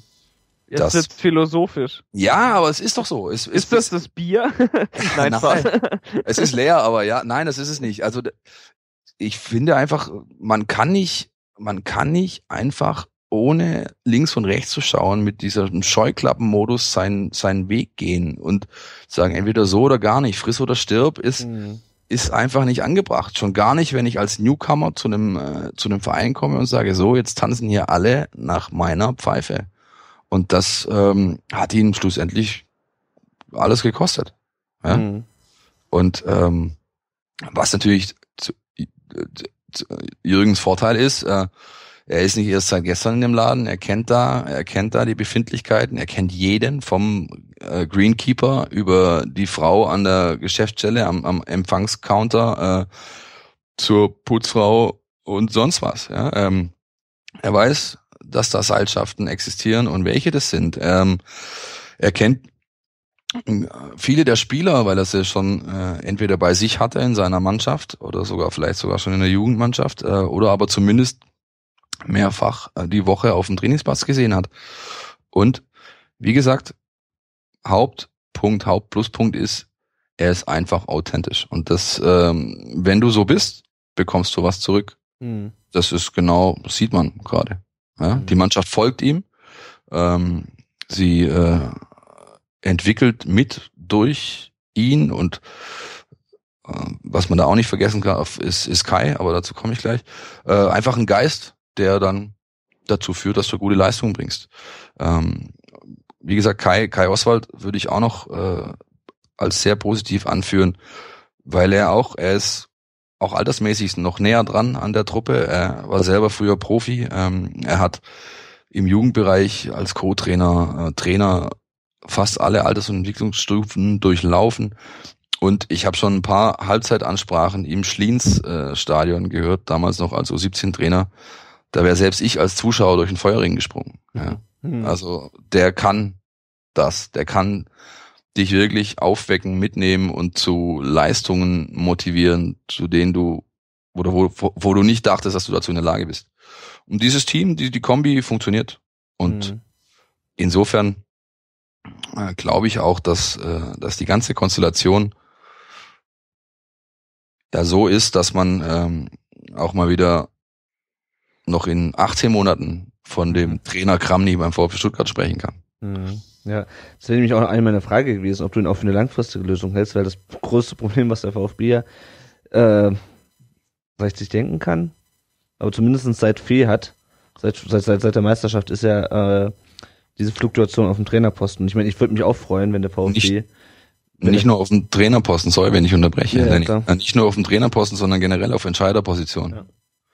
Äh, das ist ja, ist die Reise nach Jerusalem reloaded jedes Jahr. Und ähm, Leistung und Erfolg erwächst im Wesentlichen durch Konstanz.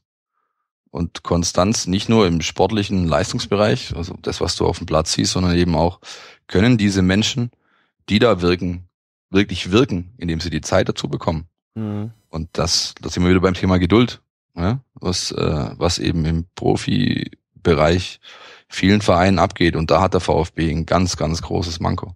Mhm. Ja, das ist halt das Anspruchsdenken, das man dann immer hat. Man kommt da irgendwie von einer Überraschungsmeisterschaft 2007, ist da eigentlich was ganz anderes gewohnt und findet sich dann jetzt die letzten, wie lange jetzt schon? Vier Jahre eigentlich immer mehr oder weniger Mittelfeld bis Abstiegskampf wieder.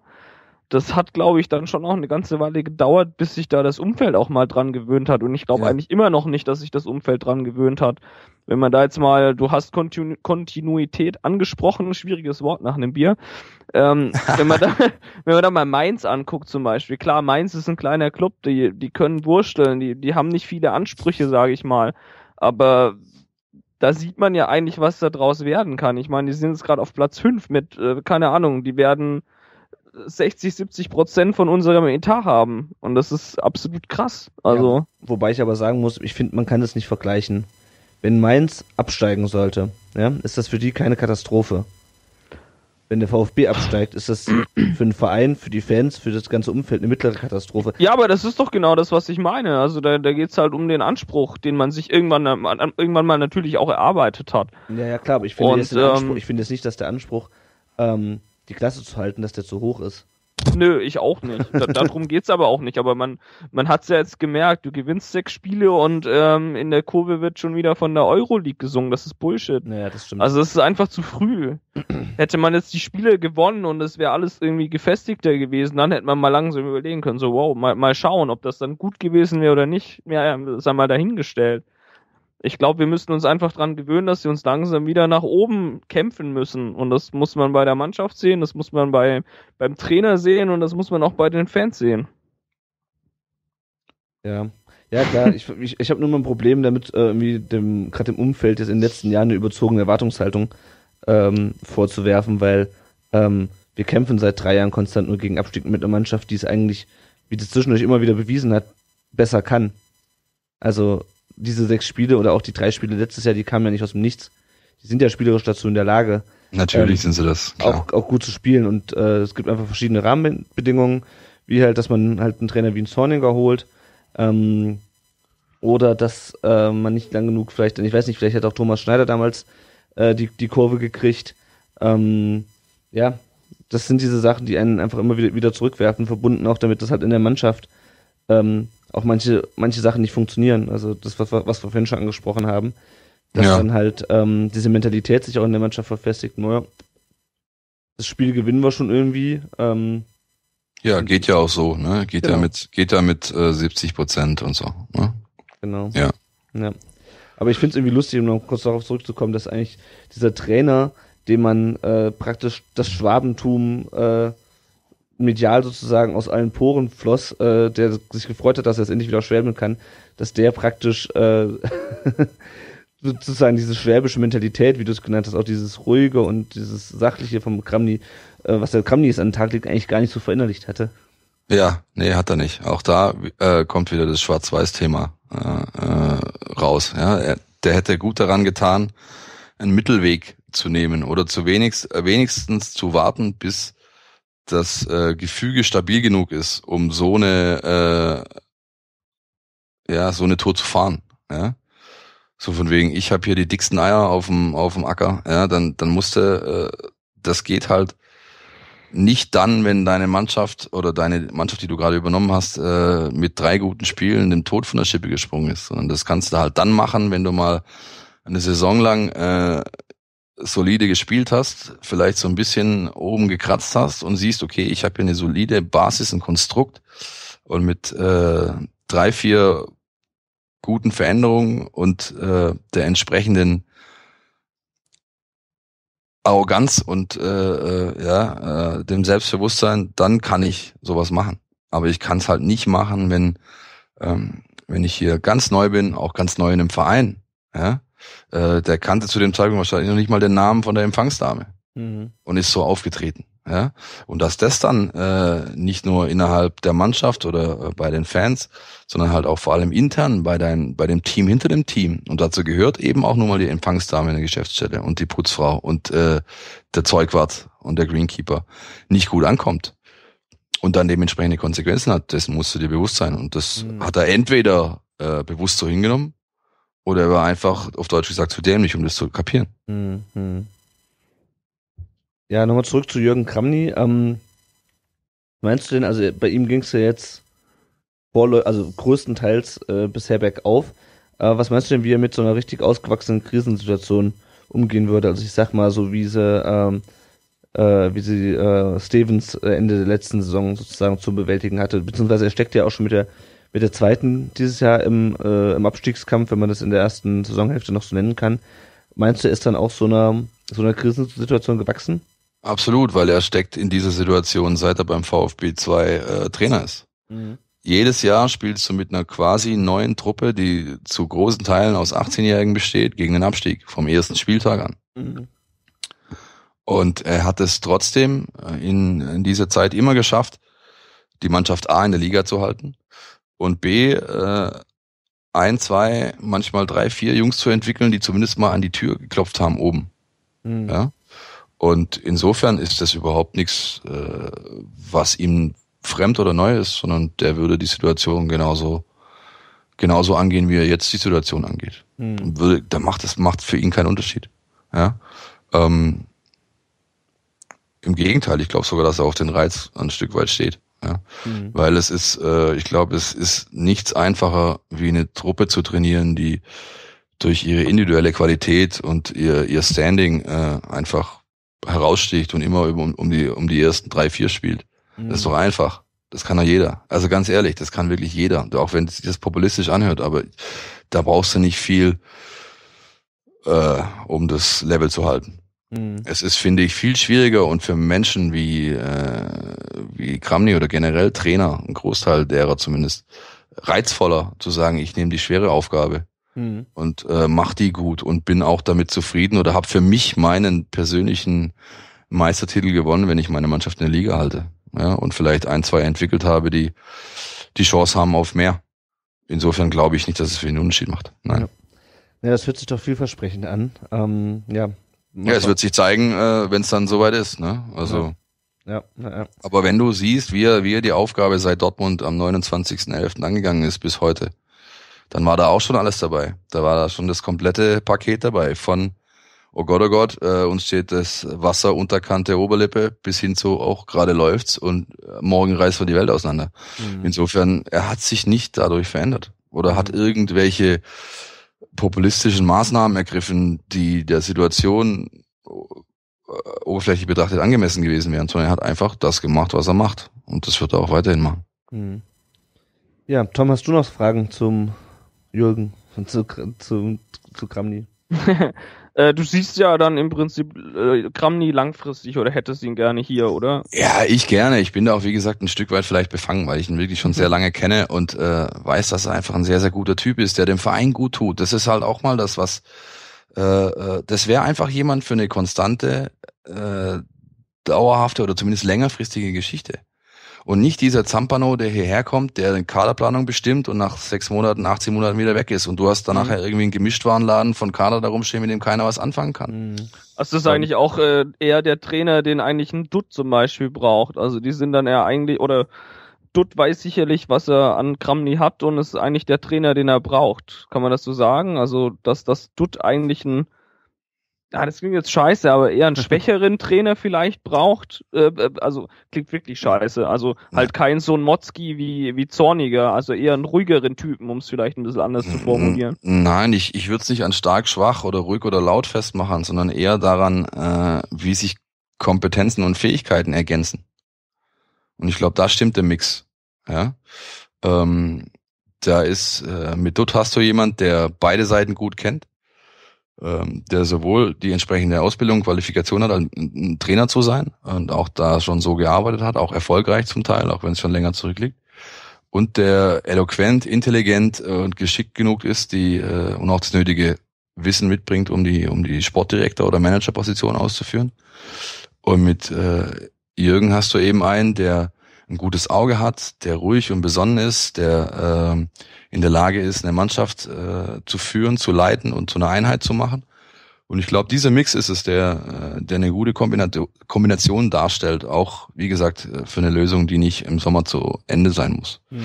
Und in dem Moment, wo du, wo du, ja, das ist aber auch eine, das ist, kannst du irgendwann über Henne und Ei diskutieren. Also, aber ich bin der Meinung, es ist einfacher, gute Leistungen zu bringen und auch ein leistungsfähiges Umfeld zu erzeugen, wenn du zwei, drei Entscheider hast, die sich gut ergänzen, als wie wenn ich zwei, drei Entscheider habe, die so Feuer, Wasser äh, sind, ja, die ähm, die auf ihre Weise und für sich und ihrem Wirkungskreis vielleicht sehr gut sind, aber halt äh, ja nicht nicht so gut zusammenpassen. Mhm. Und auch da wieder äh, hatten wir ganz am Anfang Teamgedanke. Ja? Ich, ich bin ein Kerl und ich, so, so, so lebe ich, seit ich, seit ich lebe. Ich, ich denke, dass, dass wenn man, wenn man wirklich gut sein möchte oder in einem Team gehört eben dazu, dass man Kompromisse eingeht, dass man sich unterordnet, dass man Teil eines großen Ganzen sein möchte und da seine Qualitäten einbringt. Als hier der Klassenclown zu sein oder der, der, der, der Effenberg, der hier, der Gockel auf dem Platz und sowas, bringt alles nichts. Ja. Ist, es, meines Erachtens ist es notwendig für langfristigen Erfolg, wenn sich gute Leute kontinuierlich auf einer Basis zusammenfinden und an einem Strang ziehen. Und ich glaube, mhm. dazu wären die beiden in der Lage. Mhm. Gut. Ja, dann äh, hoffen wir mal, dass äh, Kramny auch langfristig Trainer bleibt. Ich würde es mir auch wünschen. Ähm, weil es einfach, äh, ja, mich kotzt es mehr, mich hat es in den letzten Jahren mehr und mehr angekotzt. Diese, diese, äh, dieses ständige Wechseln auf allen möglichen Positionen. Ja. Manager, Trainer, Präsident, äh, ja. Ja. Nein, ähm, das, du hast ja gesehen, wozu es führt. Ja? Man sieht es doch ganz klar. An, an, man kann es sogar statistisch anhand einer Tabellensituation, anhand einer äh, Punkteschnitt pro Runde kannst du es festmachen. Seit äh, 2-7 und der überraschenden Meisterschaft äh, läuft es halt nun mal nicht rund und es ist kaum, äh, vergehen anderthalb Jahre mit den gleichen Leuten auf den entscheidenden Positionen und dementsprechend stehst du da, wo du jetzt stehst. Und lass halt mal äh, die Jungs äh, in Ruhe arbeiten und hab halt auch doch mal die Geduld, dann durch, äh, durch ein Tal zu gehen oder eine Delle mitzunehmen. Ja? Mhm. Und wie gesagt, Geduld, Kontinuität sind äh, zwei ganz, ganz wichtige Stichworte, wenn du mich fragst. Mhm. Gut, wenn wir sonst nichts mehr zum äh, Trainer Kramny haben, würde ich nochmal gerne auf den VfB 2 eingehen, ähm, mit dem du dich auch ein bisschen auskennst, wie wir schon gehört haben. Wird gerade mal gleich eine Hörerfrage einstreuen von Twitter. Ja, gerne. Und zwar der Ed Jusfra10 fragt, ähm, also direkt an dich, wem du vom VfB 2 den Sprung äh, zu den Profi Profis zutraust. Momentan jetzt, oder Mhm. in dem vom vorhandenen Kader. Genau, jetzt momentan. Ähm, also prinzipiell rein auf dem Papier gesehen allen, sonst wären sie nicht in dieser Mannschaft oder in diesem Kader. Zieht man jetzt mal von Grüttner, Ratgeb 4 ab, ja, Mhm. weil die ähm, äh, fallen da raus.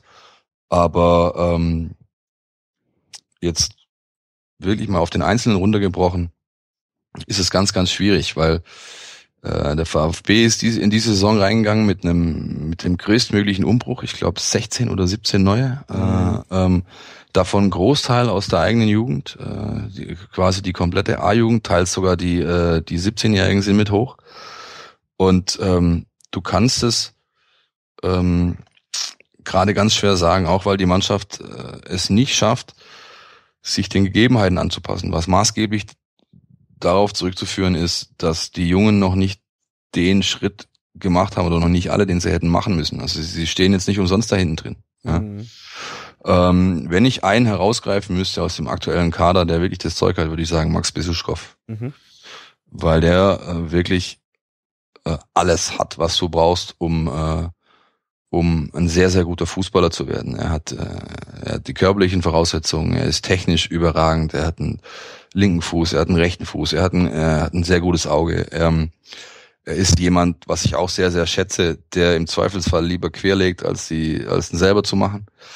Ähm, der ist mal, also mannschaftsdienlich einfach, ähm, ja, er spielt schon lang genug auf der, auf der, auf, auf, auf einem sehr guten individuellen Niveau, äh, spielt auch international für die deutsche Nationalmannschaft. Hat, ich kenne seinen, ich kenne seine Mama und sein Papa sind sehr, sehr ordentliche, bodenständige Leute. Mhm. Also ich denke, er hat richtig die Voraussetzungen dazu, äh, ein großer zu werden. Aber hat natürlich auch das Problem, dass man ihm schon seit fünf, sechs Jahren sagt, hier Top-Talent, Top-Talent, Top-Talent, ihm wirklich ständig suggeriert, Junge, ähm, du wirst, du musst.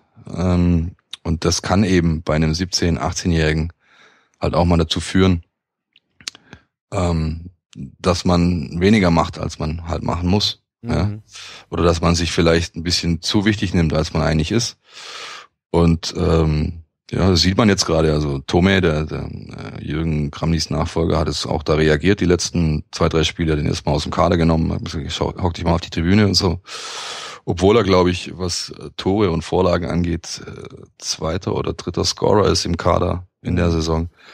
Aber also wenn ich jetzt, sagen wir es mal so, wenn ich jetzt so, wenn ich jetzt wetten soll, äh, würde oder müsste, dann würde ich auf ihn wetten. Mhm. Ja, der ist mir auch schon früher aufgefallen. Also ich habe immer mal so ein bisschen verfolgt, ähm, auch was die A und B-Jugend macht. Und ich glaube, das war vorletztes, war das vorletztes Jahr in der B-Jugend, wo er und der Uwusu so unglaublich Ja, viele ja. Tore Die geschossen waren haben. überragend. Die haben zusammen, glaube ich, 40 Buden gemacht oder sowas. Ja. Die waren überragend. Ja, Ja. ja, genau. Da ist er mir schon Ja. aufgefallen. Ich meine, jetzt hat er in 25 Spielen drei Tore. Ja. Sag, sag mal, für einen, der ist Jahrgang 97. Ähm, ja, und vor allem hat er Vorlagen. Ich glaube, vier Ja. oder fünf Vorlagen. Also, Ja.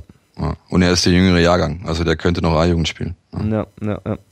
Insofern, ähm, ja, das ist, ähm, da bin ich auch mal gespannt. Ja, das- aber-. Ja. Wie gesagt, auf ihn würde ich mehr Aktien setzen als auf Ferrati oder Ristel oder äh, auch Wanizek. Mhm. Der hat einfach wirklich alles.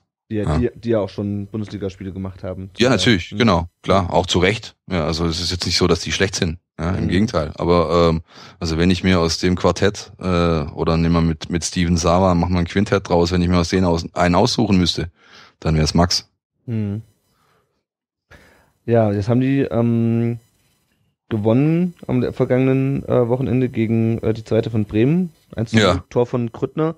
Ja. Ähm, hast du das Gefühl, das war so ein bisschen erst der Dosenöffner, dass es wieder aufwärts geht? Oder? Nein, nein, nein, absolut nicht, weil ähm, ähm, das war einfach nur überlebensnotwendig. Ähm, das wäre der gefühlte Abstieg gewesen, hätten sie ja verloren. Mhm. Ähm, es ist ganz, ganz schade, dass sie, sie hatten vor der Winterpause gegen, äh, haben sie in Münster gewonnen und haben gegen Dresden zu Hause einen Unentschieden geholt. Äh, hätten sogar beinahe gewonnen, wenn ich, glaube ich, Dresden hat in der letzten Minute einen Ausgleich gemacht. Durch einen Scheiß ver verteidigten Eckball, ganz, ganz mies. Ähm, da hatten sie richtig Schwung, waren richtig gut drauf, haben, haben wie aus einem Guss agiert und funktioniert. Und dieser ganze äh, Schwung ist ihnen komplett abhanden gekommen über, über die dreieinhalb Wochen Winter, Winterpause. Und ähm, ja, das Spiel gegen Bremen war einfach nur überlebensnotwendig. Mhm. Ähm, jetzt wird Chemnitz wird ganz, ganz wichtig. Chemnitz jetzt am Sonntag äh, im Waldau-Stadion. Kann er wirklich jeden empfehlen, da, da hinzugehen und zu unterstützen, wenn er, wenn er kann und wenn er möchte. Ähm, Chemnitz hat, glaube ich, vier Punkte mehr. Genau. Äh, die ziehst du richtig mit runter jetzt. Ähm, die haben einen Trainer rausgeschmissen unter der Woche, haben mit Sven Köhler einen neuen Mann jetzt da. Haben also vielleicht so ein bisschen den Hallo-Wach-Effekt. Aber ähm, das könnte ein Schlüsselspiel werden. Oder ich bin sogar der Meinung, es wird das Schlüsselspiel. Ähm, wenn du verlierst, steigst du ab. Wenn du gewinnst oder zumindest einen Punkt holst, äh, hast du alle Möglichkeiten drin zu bleiben. Mhm. Da, dazu, wie, wie wichtig, äh, du kannst auch gern weitermachen. Ja. Äh, wie, wie wichtig siehst du denn Liga 3 eigentlich, jetzt mal ketzerisch gefragt? Unglaublich. Also, wichtig. es ist schon unglaublich wichtig, oder? Ich sehe das als unglaublich wichtig an. Äh, ähm, erstens mal oder, oder, oder primär aus reinem Eigeninteresse. Ja, äh, es geht darum, deine Nachwuchsleute und selbst wenn es nur einer pro Jahrgang schafft, äh, ist irrelevant. Ja, aber es geht darum, deine eigenen Nachwuchsleute auf dem bestmöglichen Level auszubilden. Und es ist nun mal die dritte Liga. Ja? Und man tut, Beispiel Ferrati zum Beispiel, den Jungs keinen Gefallen, wenn man sie mit 16 äh, aus äh, populistischen Gründen mit ins Trainingslager nach Südafrika nimmt. Damit tut mir ihnen keinen Gefallen, was der Herr Fee gemacht hat. Mhm. Oder der Schneider war es, keine Ahnung, ich glaube einer von beiden. Damit tust du den Jungs keinen Gefallen, sondern tust ihnen damit einen Gefallen, wenn du sie äh, mal 34, äh, 70 Spiele gegen den Abstieg, gegen Männer Fußball spielen lässt, auf Äckern, äh, abends auswärts vor Dresden, in Dresden oder in Magdeburg vor 15.000 fanatischen Leuten, damit tust du diesen Jungs einen Gefallen. Mhm. Weil da können sie weiterentwickeln, äh, sich weiterentwickeln und daran können sie wachsen. Du tust ihnen keinen Gefallen damit, wenn du sie pamperst und hochholst und äh, sagst, du bist jetzt hier äh, ganz nah dran und so ein Scheiß und der Gewinner der Vorbereitung und so, so ein Blödsinn, ja, sondern ähm, Qualität ziehst du dir heran oder, oder förderst du, indem du ihnen das bestmögliche Ausbildungslevel gibst und zwar über eine konstante Zeit und Dauer. Lasse ähm, unter der Woche bei den Profis trainieren und lasse, lasse äh, dieses Level schon mal auf Trainingsniveau spüren, kein Thema. Aber sie müssen in der dritten Liga spielen, um, um dort 90 Minuten für 90 Minuten äh, ja, zu wachsen und zu merken, was gehört eigentlich dazu, Erwachsenenfußball zu spielen. Hm. Siehst du das dann auch als, ähm, ähm, achso ja, oder andersrum gefragt, diese Durchlässigkeit nach oben wird ja auch oft kritisiert, dass äh, relativ wenig Jungs es eigentlich schaffen und der VfB 2 so ein bisschen stiefmütterlich anscheinend behandelt wird, lese ich öfters mal bei Twitter und so. Ist das wirklich so oder sind das dann diese populistischen Entscheidungen, wie du sie jetzt gerade genannt hast, das, das Problem dann eigentlich, dass man die da nicht in Ruhe sich durch die Scheiße also, wühlen lässt, sage ich mal. Also ich nehme ich nehme ich nehme es nicht so wahr, dass die Jungs äh, vereinsintern nicht äh, wertgeschätzt werden oder dass man dem VfB 2 nicht den Stellenwert einräumt, der ihm eigentlich gehört. Und was die durch äh, Durchlässigkeit angeht, ähm, wir reden hier von Hochleistungssport und Hochleistungssport bedingt eben auch, dass die Auslese brutal ist. Ja? Und wenn man bedenkt, dass die U19 jedes Jahr einen kompletten Kader produziert, der dann zu U23 werden kann, und davon schafft es zehn. Und ähm, dann hast du zwei, drei Jahre U23, bevor es dann weitergehen muss, oder du musst eben weiter und ähm, zu einem anderen Verein, wegen weil du die Altersgrenze überschreitest. Ähm, und da schaffen es dann vielleicht einer, maximal zwei pro Jahr, dann ist das sehr, sehr viel. Das ist wirklich viel. Mhm. Ja, ähm, das äh, unterschätzen eben manche, die sagen, hey, da müssen ja jedes Jahr fünf, sechs Mann vor der Türe stehen. Und glaube, das ist nicht der Fall. Es schaffen eben nur die, äh, die wenigen. Ähm, und die haben dann eben halt auch die Qualität, sich wirklich durchzusetzen. Die sind dann nicht nach anderthalb Jahren verbrannt, ausgespuckt und ziehen weiter, sondern die haben wirklich die Chance dann ein, ein wichtiger Spieler für die, für die Profi-Elf zu werden. Das ist einfach der normale Prozess. Das gehört dazu bei so einer Ausbildungsmannschaft.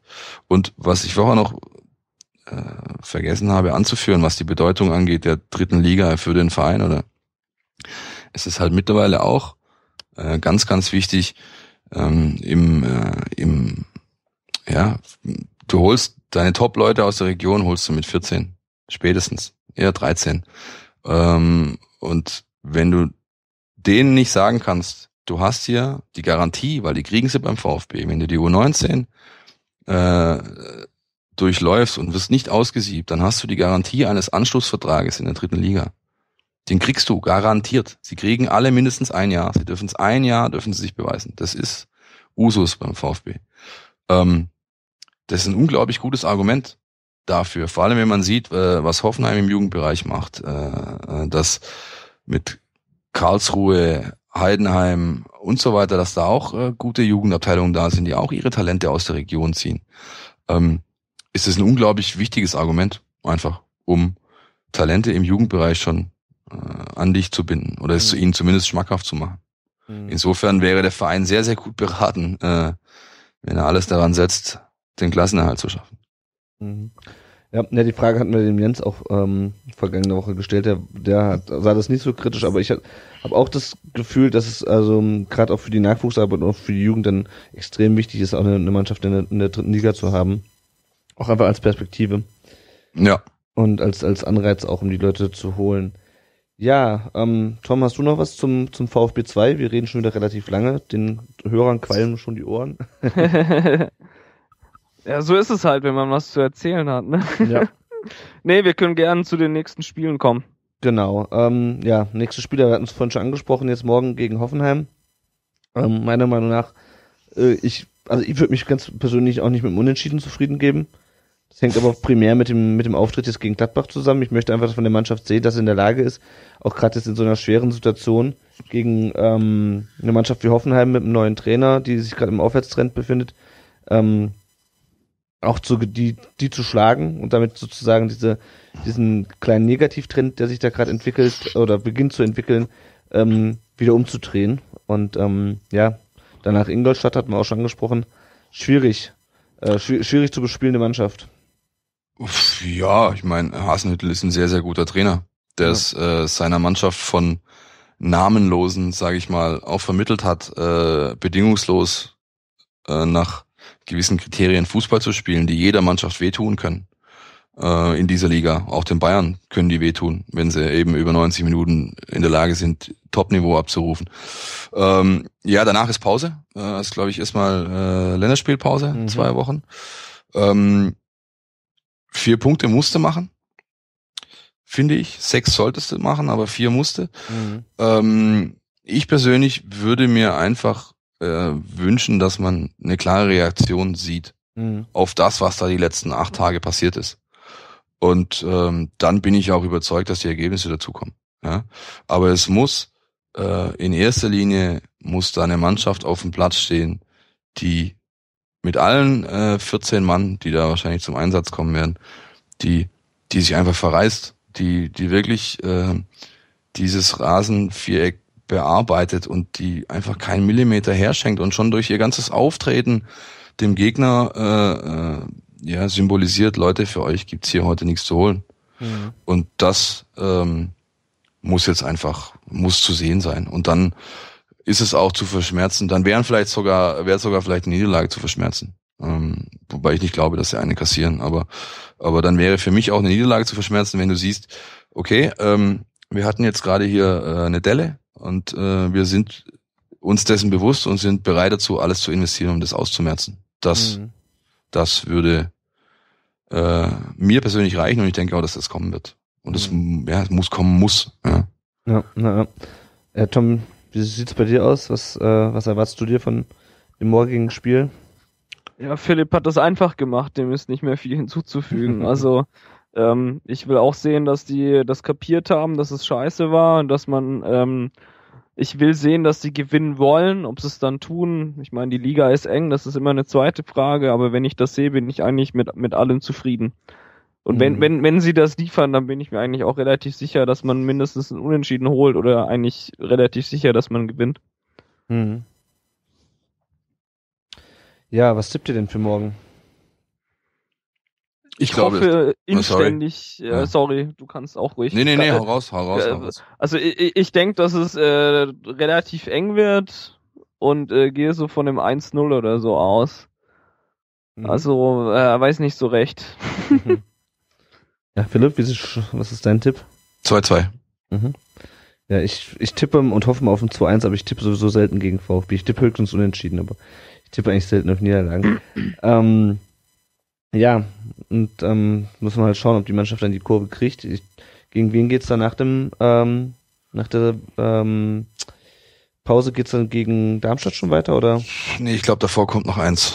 Ich müsst, würde jetzt aber lügen, wenn ich's. Äh, Ich hab's sofort. äh, es geht gegen Leverkusen Ah, am ja. 20.03. Zu Hause. Genau, zu Hause gegen Leverkusen.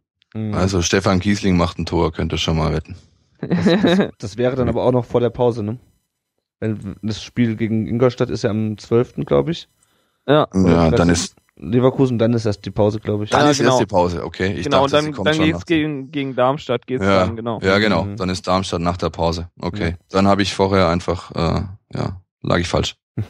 Aber wie du vorhin schon ganz richtig gesagt hast, ähm, ich denke mal jetzt, äh, das morgige Spiel, das äh, wird schon sehr aussagekräftig, auch wie es danach weitergeht, ob die Mannschaft jetzt nach diesen Negativerlebnissen nochmal ähm, irgendwie den, den Turnaround schafft. Ja, ich meine, du triffst halt eben auch auf einen Gegner, äh, der sich jetzt seit äh, Nagelsmann Trainer ist, bedingungslos einem Weg verschrieben hat. Die spielen ihr Ding, die, die machen das äh, und die haben für sich äh, eben entschieden, entweder wir gehen mit der Nummer hier mit fliegenden Fahnen unter und steigen ab. Der darf auch absteigen, glaube ich, der Mhm. Nagelsmann mit der Truppe. Oder wir schaffen es eben. Aber wir weichen keinen Millimeter von dem Weg ab, den wir, den wir hier gerade gehen. Das hast du gegen Dortmund gesehen. Da verlieren sie halt, weil der Rudi eine völlig überzogene rote Karte bekommt, meiner Ansicht nach. Von der Sperre mal ganz abgesehen. Ähm, da verlieren sie deswegen. Und äh, die anderen beiden Spiele haben sie gewonnen, glaube ich. Und das in überzeugender Manier. Und die und alle drei Spiele haben sie mit der gleichen, mit der gleichen äh, Intensität, mit der gleichen Art und Weise angegangen. Und deswegen, die werden morgen auf Teufel komm raus, werden die ihr Glück nach, äh, suchen. Und dessen musst du dir bewusst sein. Mhm. Also einfach wird's auf jeden Fall nicht, da kannst du sicher sein. Das Ja. ist korrekt. Ja. Dann würde ich gerade nochmal eine Hörerfrage einschmeißen, äh, und zwar von etsebi0878 zu möglichen Transfers. Ähm, momentan steht dann, also was Zugänge angeht, noch nicht so, so wahnsinnig viel fest. Es wird, äh, Es ist ja auch noch ein bisschen, ne? ich wollte ist noch ein bisschen hin, also es wird von Zimmer, von Kaiserslautern, ähm, gesprochen, oder das ist äh, nach äh, STZ-Informationen oder SDN, ich weiß nicht, wer das war. STZ. STZ-Informationen schon relativ fix. Ähm, kannst du da, weiß da die Digital Unit schon mehr? ähm, nein, äh, weiß ich nicht, außer dass eben äh, aus lautern klare Signale kommen, dass man ähm, mit dem Tafel Silber Geld verdienen muss, Mhm. um äh, wettbewerbsfähig zu bleiben.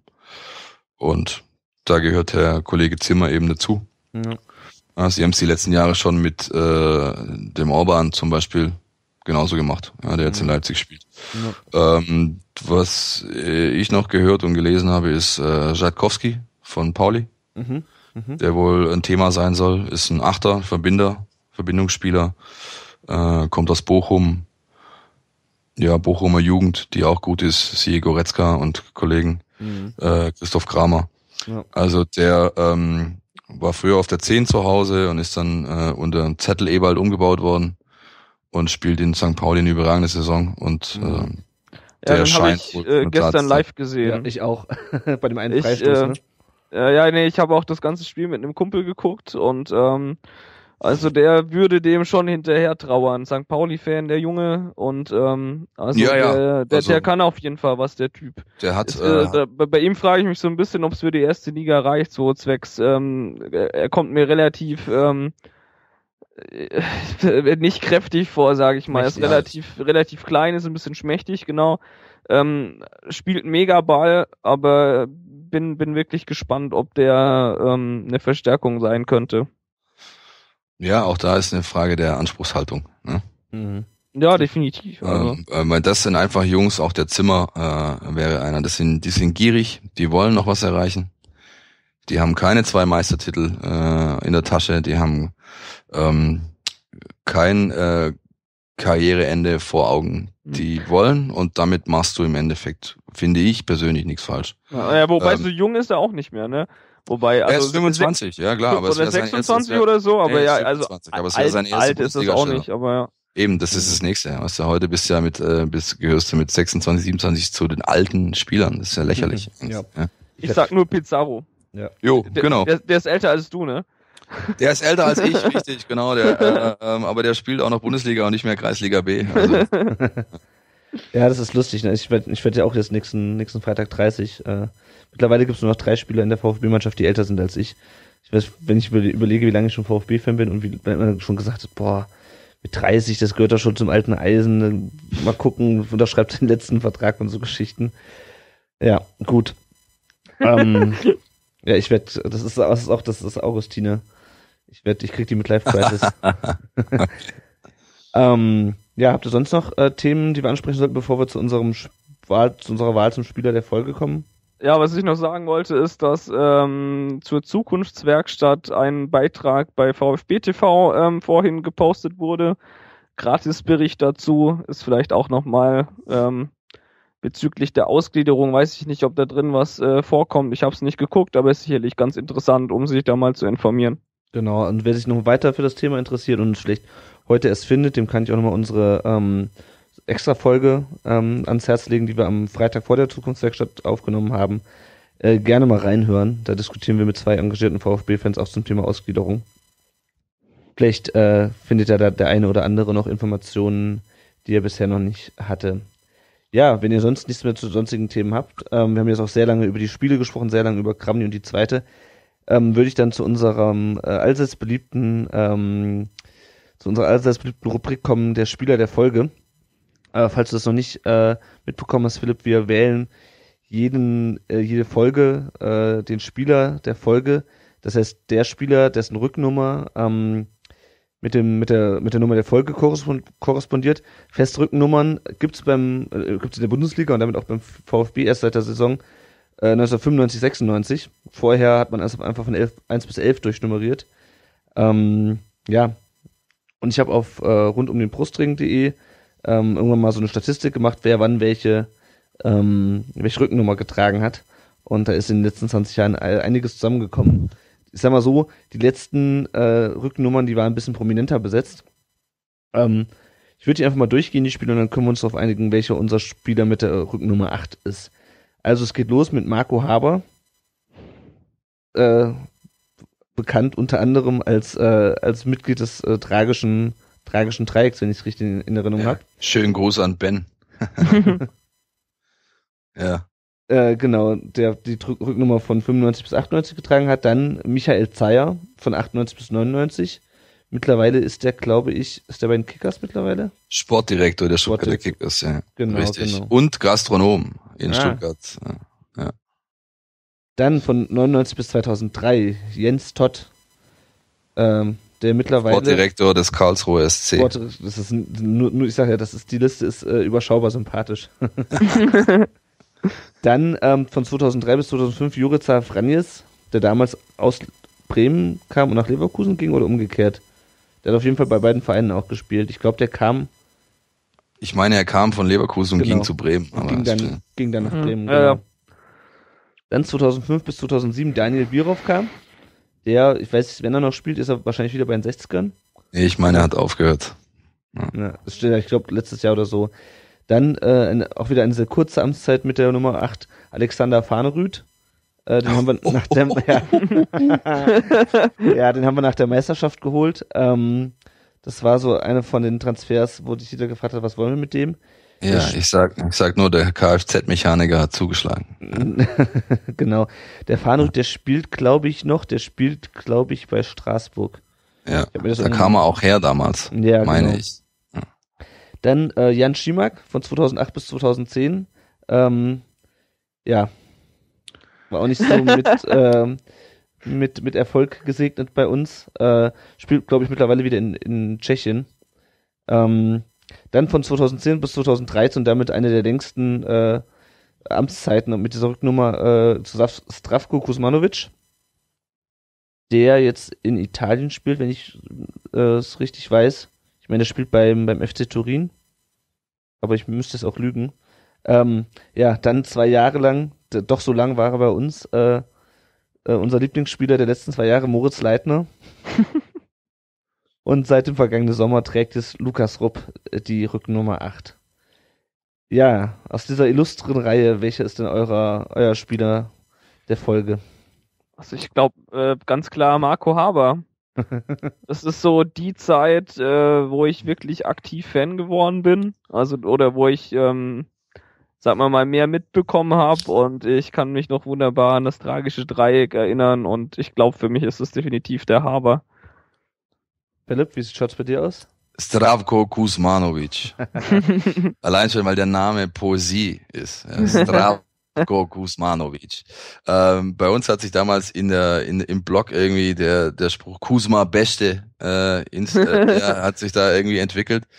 Ähm, ich habe den Kerl sehr gemocht, weil er einfach so ein bisschen so ein Schluder, Schludri war, ja, mit überragendem Talent äh, ausgestattet, aber er wird es nie wirklich weit bringen, auch wenn er bei Inter war und so weiter und so fort.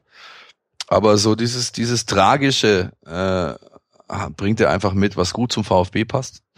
äh, hat eigentlich alle Anlagen, macht aber nicht wirklich was draus. Und ähm, was ich auch äh, sehr an ihm schätze, er war der letzte Spieler, der unser Trikot trug mit dem Brustring, der ein direktes Freistoßtor erzielt hat, und zwar gegen Bayer Leverkusen. Ja. Äh, 2010, 11, sowas, keine Ahnung, oder was? Nee, nee, warte mal, wann war er da? 2010 bis 2013. Ja, ja, ja, ist auf jeden Fall schon länger her. Ähm, ja, schön unter der Mauer durch, äh, rechtes Eck unten. Ja, hat er gut gemacht und deswegen ist es mein Spieler der Folge. Ja, Tom, es tut mir leid, ich muss dich schon wieder äh, überstimmen. wie, wie immer, wie immer. Ich habe den Tom schon letzte, bei der letzten Folge überstimmt, als ich Martin Harnik über, wen war's? Ich weiß es gar nicht mehr. Aber ich kann mich auf Kusma auch ähm, einschießen, das wäre meine Top 2 gewesen. Ja, also ich muss also zum einen, ich hätte das nämlich das sonst auch angeführt mit dem, äh, mit dem Freistoß und ich fand ihn auch immer sympathisch, der war irgendwie, ja, genau, so, so ein kleiner Schludri halt, aber irgendwie irgendwie fand ich ihn cool, aber du hast recht, der wird sich wahrscheinlich nie durchsetzen. Genau, ich habe mich äh, gegen für Martin Harnik und gegen Silvio Meissner entschieden. genau. Äh, bei der Folge 7, Silvio Meissner, der immerhin acht Jahre lang die 7 getragen hat beim VfB, ähm, was ja auch selten ist. Ja, ähm, dann ist von unserer Seite her ähm, Zdravko Kuzmanovic. Philipp, sag mal nochmal den Namen, du. Bei dir hatte das irgendwie äh, einen geileren Vibe. Stravko Kuzmanovic. Ah, beste. Beste, genau. Ja. Sehr schön. Ja, dann ist von unserer Seite her der ähm, eben genannte Spieler, der Spieler der Folge herzlichen Glückwunsch nach Turin oder wo immer er sich aufhält.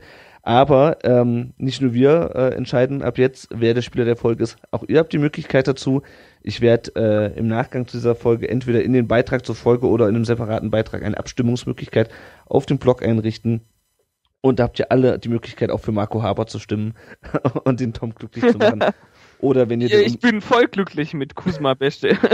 oder wenn es denn sein muss, für Alexander Fahnerüth, das liegt dann ganz in eurer äh, demokratischen Hand. Genau. Ja, dann noch einen kurzen, kurzen Hinweis.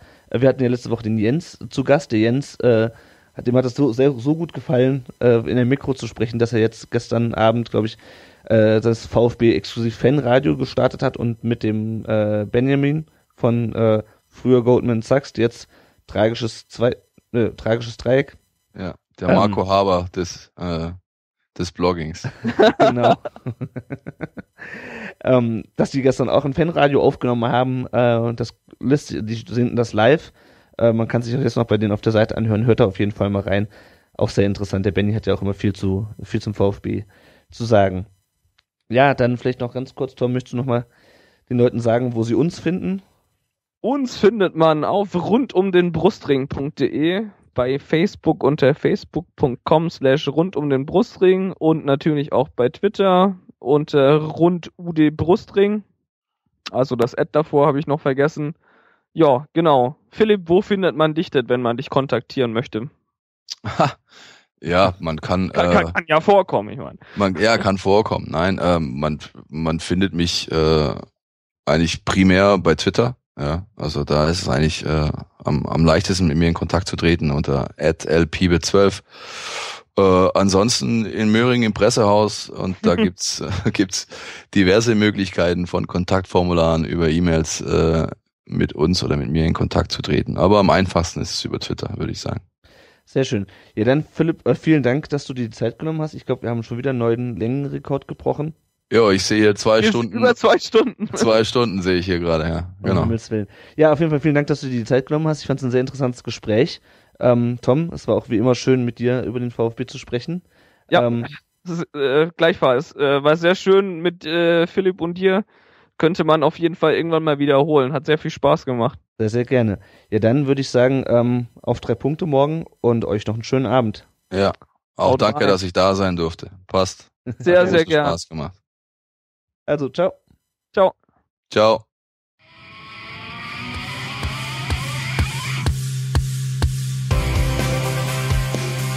Rund um den Brustring. Der VfB Stuttgart Fan Podcast.